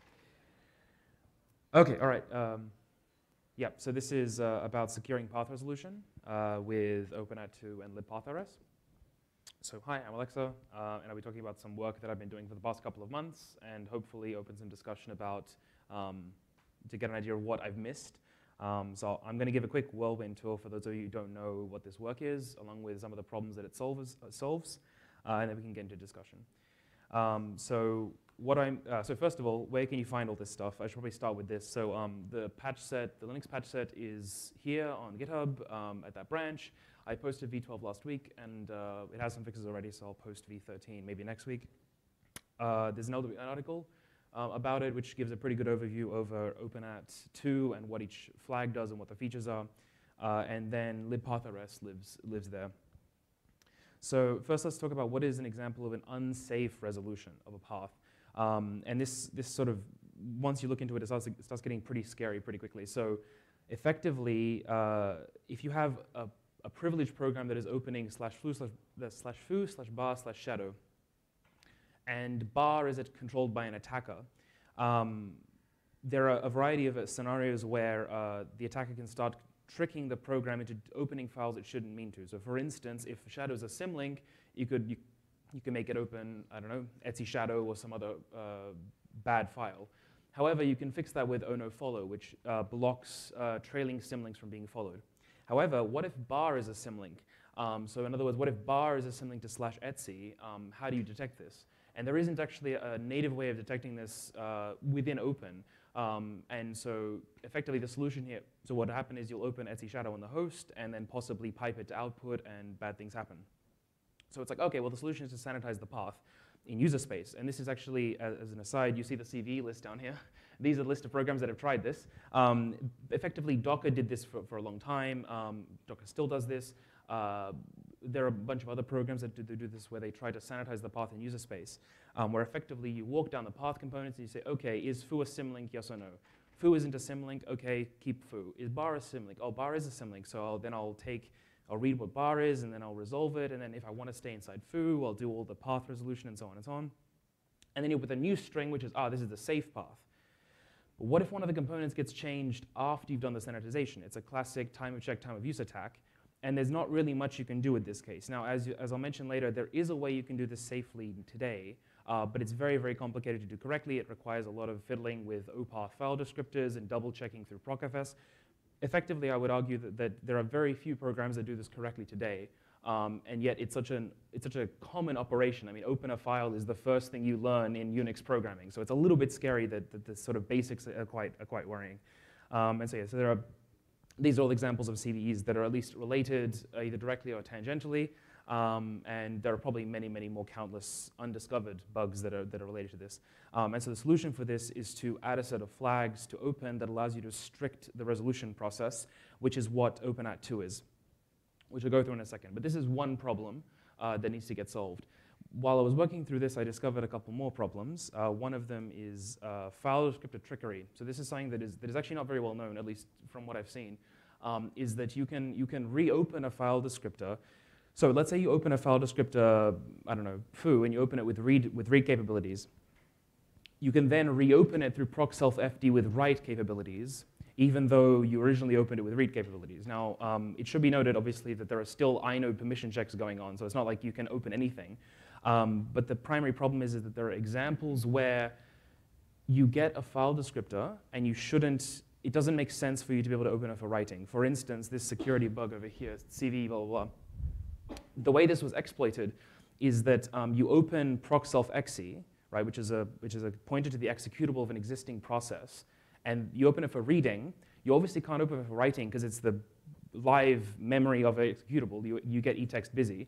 So you open it for reading, then you wait for the process to die, and then you reopen it for writing. And this is in the context of a container. So the container has no way of accessing this host, this host file, and yet it can open it for writing. Um, it should be noted, however, and also this works with O_PATH, so you don't have to open it for reading. You can open it with O_PATH and so on and so on. Um, the point being that uh, this, the point is this is actually useful. So both LXC and runC actually use this to improve the security of containers through a variety of, of, of um, quite hairy tricks, but effectively this is actually quite a useful feature. The problem is the, this fact that you can open something for reading and then later open it for writing. Um, so the solution for this problem is, um, which is what the patchet does, which is that uh, it makes magic links, these proc self FD symlinks are actually more magical. Um, and so we, we obey the, their modes. Um, the F mode is exposed in, is exposed in procfs if you look at, uh, oops.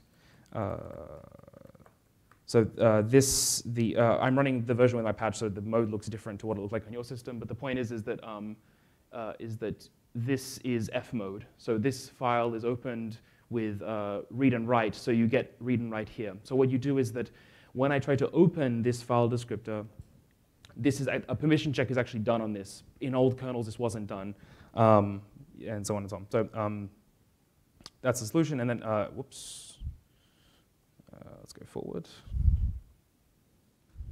Nani? Oh, right. Okay. Uh, and then you just have to fix that. And then also, um, uh, for other reasons, you need to also deal with O_PATH, and O_PATH inherits the mode of a magic link effectively which solves both problems. Um, and then one more thing is that um, one thing that's coming up quite often is that there are examples of use cases where you need uh, to do things without procfs.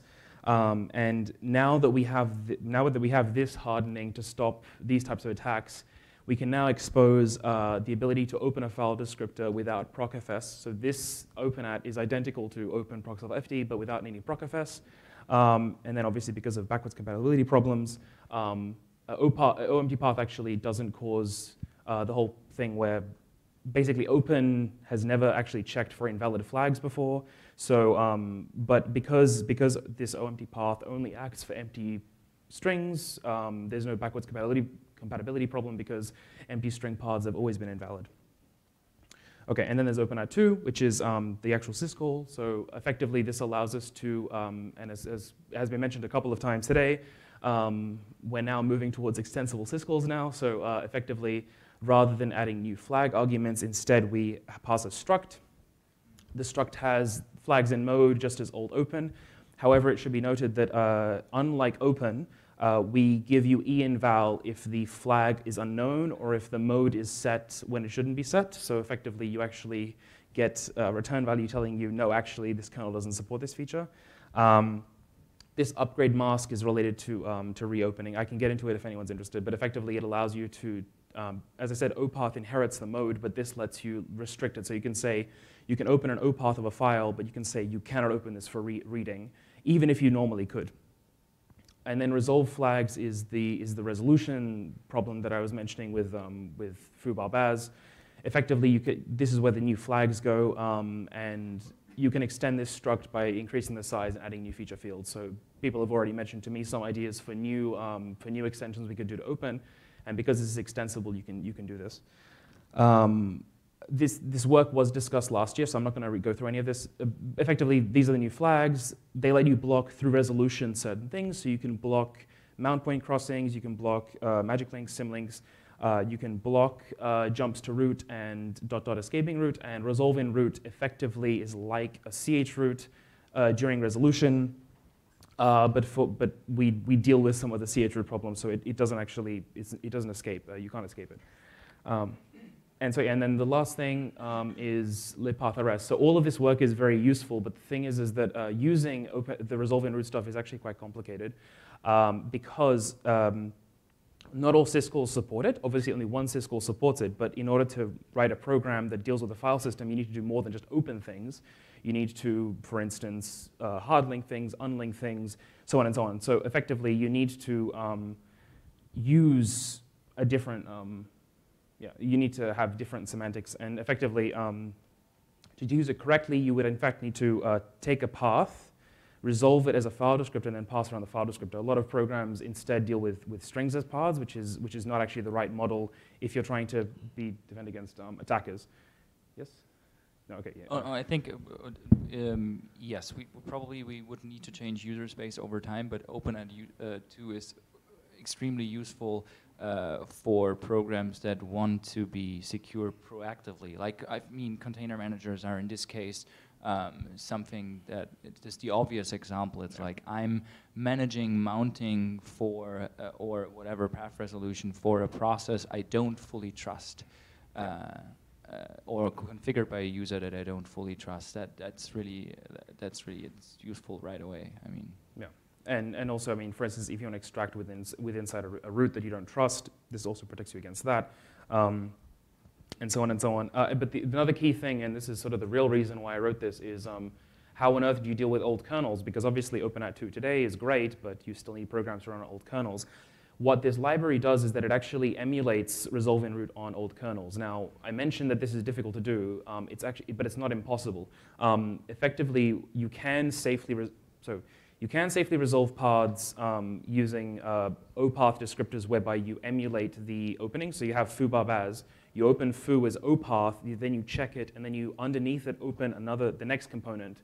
If you have the right combination of O_NOFOLLOW and so on and so on, it ends up being, um, being safe. And actually, I have, I have examples um, where you can actually do the, the rename attack for the CVs I mentioned. It doesn't work if you, if, you, uh, if you use the emulated version. So the same attack fails on both the kernel version and the emulated version.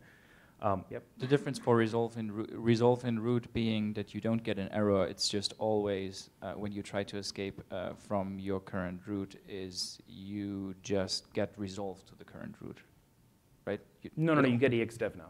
Ah. Uh, this was oh, changed. Okay, yes. so this uh, then it's basically exactly what what we did, uh, what we do in LXC when we mount. Right. Yeah. This okay. is yeah. Okay. This is yeah, basically sorry. the same thing yes. that LXC and LXC and LXD do. It's just that right. it's a separate library so that people can use it because it also sure. it also has an idiomatic. Effectively, it's it's made such that it's more idiomatic to use because rather than it being like you write the program logic to use O_PATH everywhere, instead, yeah, yeah exactly. I've seen the code too. Effectively, you, you you have a handle which is actually an FD, and then and then you. Uh, That wasn't meant to be a dig. It's, it's always going to be ugly unless you, unless you separate it out. Um, and so the idea would be to use this. Uh, the only downside, and I'm sure people will have opinions about this, is that it's currently a Rust library. I know that this is going to cause many problems. Um, yeah, I mean, if people really want it to be written, it can be done. Um, but from what I've heard, Rust libraries and distributions is no longer as much of a nightmare as it was two years ago. Um, but feel free to prove me wrong on Keep that one. Keep telling that to yourself. Yeah. yeah. oh, shit. Um, I'm Does, so- does it have C bindings? Sorry?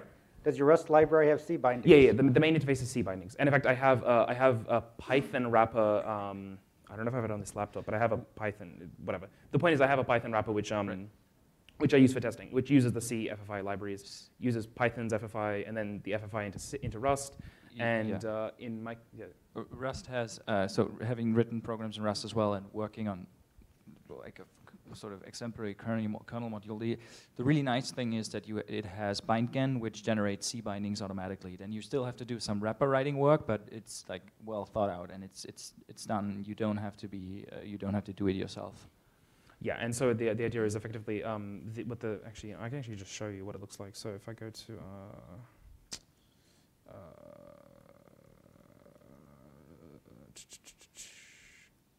so the the API looks something like um, so this is like uh, oops. So you open a root with a path, and then uh, you then underneath it can do uh, mkdir underneath the path. You can do mknod, and all of this is backed by resolve in root. The idea is that this this basically looks like normal syscalls, but instead it's um, it's using the, the resolve in root, uh, handling all of the weird cases where, for instance, you need to unlink a file, you need to resolve in root the director, the parent, and then you need to unlink the child. And for rename, rename exchange, you need to so on and so on. So dealing with all that, all that um, lovely semantics. As an aside, uh, I discovered that there's no way in Linux to, to just unlink something uh, without caring what it is, because if you try to unlink something that's a directory, unlinkat has AT_REMOVEDIR. Uh, You cannot you cannot just say unlink it. I don't care what it is. Um, as a complete, I mean, it, I don't care. I can just retry. It's just it's just funny that this doesn't exist. Um, and yeah, and then once you have a once you have one of these handles, so you so then you resolve a handle within the root. You get this handle descriptor, which is an O_PATH of the thing you're you just resolved, and then you can reopen it uh, to get an actual FD. Is the, is the ideal use case. The reason why you have this intermediate resolve is for the LXC use case, or rather the container use case, whereby uh, you want to be able to reopen dev PT, PTS PTMX inside a container. If I, because you can't, yeah. It's not even it's not even that uh, that pressing of an issue because we haven't really uh, we haven't really uh, uh, made much use of this uh, uh, for the so basically we're still in using the dev PTS mount from uh, from the host not inside of the inside of the container so it's not really uh, that important so it shouldn't block your uh, Okay, I mean, it just your works. patch set. It's alre- it's already done, so it- it- it His already point being, if you're doing an open on the dev P- PTMX device, you automatically get a, uh, a slave FD uh, for the slave side. Uh, so you automatically allocate a new PTS device. Uh, whereas if you do an O_PATH, you don't trigger an actual open. Um, so you can send that FD around and then reopen it masters proc self. FD and then upgrade it. And at that time, you get a uh, you get a PTS Yeah, device. Which this is the Um, main the main use case. This is the trick he's been he's been talking Right. about. The, the other point is, is that uh, with path uh, with pathrs handle is that uh, ideally what you would have is that programs who currently path around pass around string paths, they would resolve the path and then pass this around instead. And then when they would normally do the open on the string, they would use this. Depe- obviously, it depends very much on what the program is doing, but that would be the, the ideal the ideal case. Um, and then I, I have a Python wrapper around this that does the same the same stuff. Uh, and because I need this for my uh, for umoci, which is the OCI image tool I have, I'm also writing a Go wrapper for it. So it definitely you can use it for different languages. Um, even if I end up rewriting it in C, would, the wrappers would still work. Um, but yeah, and the important point is the reason why I have a library and not just using the syscall is that uh, to correctly use the syscall, you would need to rewrite or rather port programs to use it anyway. So the idea was, was that if we have a more idiomatic wrapper, it might be more easy to convince people to use it because from I've had some emails from people telling me that, oh, I saw you found the CV in Docker. Actually, it turns out these other 10 programs have the exact same problem. Um, and so ideally, we can, we can fix those programs um, much more quickly than having to teach everyone what is the correct way to do an open, um, which is more complicated than it maybe should be. Um, and then what's next? Effectively, OpenAT2 merged. There are some open questions. I've put some flame bait there in case we want to go into that. And um, the other thing is to port programs to libpathrs. And the neat thing is, is that we don't actually need the kernel work to start doing the porting effort because again, the emulation will, will work on all the kernels. Um, but yeah, so any, any comments? Oh, sorry, the open question, as an example of the open questions is that um, uh, Andy Lutomirski had an idea for, for flags, which is to try to try to fix up flags now, now that, but I think that that's pretty much been, been NACKed by everyone in the room, right? Linus and Ingo, I think. Yeah, I think that's, I think that's, I think that's dead in the water. Basically, the And problem is, is yeah. that, um, uh, is that O, it's been a long-standing thing where O read only is equal to zero, and it would be nice to not have this problem because um, it, ha- it causes issues elsewhere. But um, I think that's pretty much not not going to change effectively. I think. Um, Uh, the, yes. The problem being, as far as I understand, the concern being that if you change, if you require too much change from user space, like getting used to new flags and whatever, then the switch is never going to happen or in, in, in, in 20 years. Yeah. Yeah. So effectively, if we just keep the same flags, then we don't have to worry about people not wanting to switch because it's just. You need a set of new architectures that don't implement open, but only implement OpenNet 2. yeah. Uh, and sorry, and one other thing is. Case uh, in point, I, I, IPv6, the same as IPv4, just longer. Uh, I'm not commenting on that. Um, so, uh, and then the other thing is, is sort of future work, which I, I mentioned, I talked to Eric about, which is um, uh, right now there is no way to limit what file descriptors can be executed. So essentially, if you have an, a file descriptor which the underlying file happens to be executable, if you open it for reading, for instance, you cannot limit it from, from being executed through uh, sorry, this is not the syscall, this is the wrapper, execves, like you, you can exit it, execute through proxofd or through um, AT_EMPTY_PATH. The point being that, uh, for instance, I mean, I'm trying to think of, of a good example of where this would be useful. Um, but for instance, imagine you're passing an FD to a process you don't trust, and it's a setuid file. Let's say you're like, I don't know, dumping all strings in a binary or something silly, right? And you want, you give it a setuid program as read, uh, readable. You don't want them to later be able to execute it. Maybe it's a buggy setuid binary. Um, you can't do this limitation. I mean, you can unset it. You can set minus exit. Um, but yeah, I, I think that uh, it would be neat to be able to do this limiting. But the problem is, is that right now, as far as I can tell, uh, there isn't an equivalent way to read and write because read and write have F mode write and so on and so on. Um, but yeah, that's Yeah. I think um, a- a- at some point Proc had, ha- ha- had problems um, in this area where you could like um, exec, um, you know, um, proc, proc pid environ or something like that. Yeah. And um, there was also something where, where it wasn't checking the permissions when you um, owned it. Oh, God. Or modded it. Yeah. Um, something like that. You can probably look in the Git history and find it. Right. But I have this vague, vague memory that it's actually been a problem in the past, and that might, might be w- w- worth looking up. Right, because in the case of proc, uh, blah, blah, envir- uh, oh, actually, no, Environ, I- Environ isn't a magic link, though, is it? No, that's the thing. It, Okay. It's not a magic link. Does it have It's a magic file Oh, God. Uh, that comes out, uh, that, that- that reads the process's memory, so you can make it say whatever you want it to say. Oh, right. Right, you, you can override it. Yeah, that's, you- that, you- that'll, that'll be a different Yeah, issue, it's, all, you get into all these problems where uh, you can override the environment in, in proc self something something, and in glibc the environment global variable for your process will not get updated and all that. It's really beautiful. Mhm, Yes. Um, uh, so hang on, so environment isn't isn't mapped. I, I always assumed it was a like a mapped, or is it like read and then stored somewhere? I think it's read and stored somewhere. Okay, that's interesting. Um, yeah. So. Uh, one comment about the fexecve, that's probably something you envision for the future in the sense after the initial version of OpenAT2 has been merged. Yeah, uh, we discussed this um, uh, Yes, last, we- uh, yesterday, yeah, and effectively it it boils down to yeah. It's first of all, it would it would block it for too long because I'm Yes, I'm not great, convinced. okay. Yes, it would I just it wanted to. I just wanted to say. I know you. You like to get. You have a lot of good ideas for good features, but don't stuff. yeah, yeah. We need we much. should get it first. Yeah, that's, Exactly. um, yeah. Yeah, and, Um, and and question, um, because I, I think there, there's a good a- answer to this, but what is the advantage of the native syscalls over the emulation? Uh, so there are a couple. So uh, so resolve in root. Okay. There are there are a couple. So um, the first thing is is that is that these ones are not well. Actually, the one that's most obviously not possible uh, today is resolve no magic links uh, because uh, the kernel does not expose whether or not something is a magic link. And so what in the resolution, in, in libpathrs, what I do is that I actually block all symlink resolution on proc uh, because I can't tell whether it's going to be a magic link or not uh, until I go through it, and, even, and I don't want to. I don't even want to play with going through it. Um, I think you, I think you can do this. You can L like something like lstat open and fstat, if you can open. Uh, no, no, no. But the thing Uh, is, is that if you do lstat, uh, sorry, if you get um, so check open and recheck whether you opened the same you checked. Um, I think this works. Uh, yes, you. you so you would do that, open yeah. and find out it's a magic. Uh, right. The, the, the, the problem the problem is is that uh, um, it depends. Uh, sorry, it depends on when during when when in resolution you are. But um, there are some files that are unsafe to even open. Uh, for instance, consoles. If you're if you're a detached process and you open a file, this can be fixed with O C, no CTY. This is another thing. Um, but yeah, there are some there are some file descriptors which I, ideally you wouldn't even want to try to open.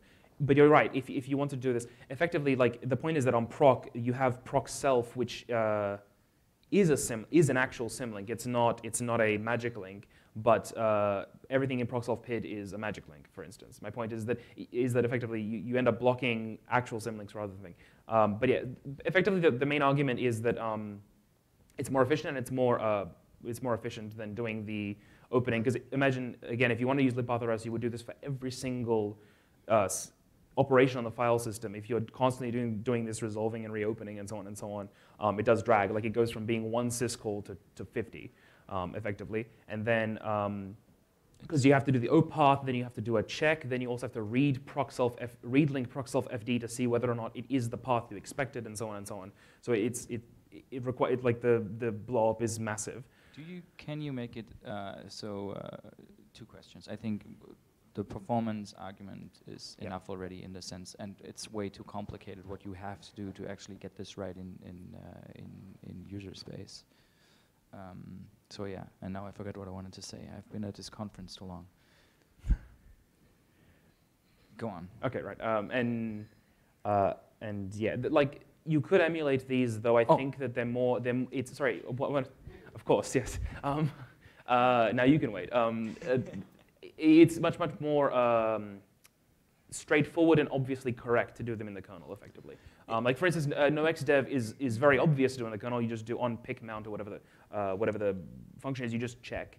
As opposed to um, in user space, you would need to do uh, fstatat, and then you would need to do then you would need to care about um, then you would need to care about OverlayFS, where it's um, the the uh, for, for underlay files. It's it's a, it's a different file system, even though it's the same mount, and so on and so on. So effectively, this this becomes complicated. Yes. Is it uh, is the uh, the emulation in user space talk to free? Sorry. It, it- does it have like uh, time of check, time of use problems? Is it race free? The emulation you do without Uh, opening as, as far as I know, it is. Uh, so, so basically, we do similar to what you do, which is that Just once said no. Okay. No. Yeah. Okay. Yeah. yeah. Uh, effectively, what it does is that it, it does the it does the open chain, and then at the very very end, it does a recheck with proxelfd to see Okay. whether or not it is the path we expected, um, Yes, which which should be which should be good enough, effectively. Yeah. Um, we basically meaning that at some point this path actually did resolve to this this thing without intermediate uh, symlink screw, uh, screwery, effectively. Um, but yeah. Okay. Um, yeah. Uh, get from the box. Yeah. Okay. But uh, the rechecking cannot recheck the magic links, right? The, the read link. Sorry? Or, if you do the check in the end, will it solve the like it will solve the symlinks, but will it solve the other issues? Uh, so if you do the, uh, so in, in the in the user space emulation, so in, in libpathrs, what we do is that um, uh, we take, so effectively what you do is that you, you, you do the walk of each component, and then once you're done, you then look at the file, final file descriptor you have at the very end, and then you say, uh, this file descriptor, uh, what does it point to? And then you do that check by doing read link proxelfd, the number, and then you compare that to internally what you thought the path should be. Um, effectively, is, is what you do. Um, yeah. Which means that which means that if there is a race, you, you catch it. This is the important point: is that you, you can catch when, when a race happens. Um, and, and obviously, and sorry, another thing is that there are cases where proc self uh, fd blah will give you slash because it, it detects an escape effectively, and this is resolved if you use resolve in, in root, because the restriction isn't the same. Um, but yeah. Any more questions? Yep. Yeah. What, one additional thing we can do that I've mentioned to you already is that we could add two new mount flags potentially. Yes. One to say if there are any uh, auto mounts in this mount, just don't ever trigger them, just return EREMOTEIO. And the other one is if you see a symlink in here and you follow it and it wants to cross into another mount point, say in e- EXDEV. Yeah. I think those should be relatively straightforward to do. Yeah, and Yeah. that's all. That's also that we something definite that what we uh, what you want. We discussed this yesterday, and I think this is a really great idea. But I think both are useful. Like the OpenAT2 path resolution stuff is useful, and that is certainly very useful for And containers. actually, you just reminded me of something, which is that it might even be helpful to have resolve no uh, auto mount. Um, that might be something useful because obviously there is a there is a look. I don't know what it's called. Lookup no no auto mount or whatever, where it won't trigger an auto mount on lookup. AT no auto mount. Sorry. I think I think AT no auto, auto mount. Uh, yes, I don't remember what the what the internal flag is called in um in uh, yes, there is also that. Um, but also, but there's also an internal flag which is the lookup flag that it, it maps to it. And I was saying, look, lookup auto mount. I think it's inverted. Yeah, yeah, sure. And the idea is that you could we could have a resolve no auto mount as well, which which does a similar thing. But yeah, that would be useful because it would allow you to have um, programs which don't use OpenAT two uh, to also be safe against jumping out of the um, out of out of the out of the mount point. Um, it would be it would be neat, and I'm sure that there are there are other use cases aside from apart from that. But I think um, that alone is, is a good enough use case. Right. It would basically become for every intelligent container runtime, it would become the default mount option. Uh, actually, one thing I want to mention is, is an aside. Someone mentioned that um, that yeah, one one downside of having a resolve no xdev flag is that people bind mount all sorts of stuff. And so the one thing is that probably should be mentioned to people who are using this is So, like, okay. please don't set this without giving the user an ability to disable it because otherwise you might end up with not being able to open like someone's home directory because they bind mounted something or whatever. Because this this is something, will, but this is a this is a user um, concern. But yeah, are we out of time? Yeah, we are. Okay, all right. Um, so we've got a 15 minutes or 10 minutes break. 10 minutes break, and we're back at 6:40. Okay, thank you very much.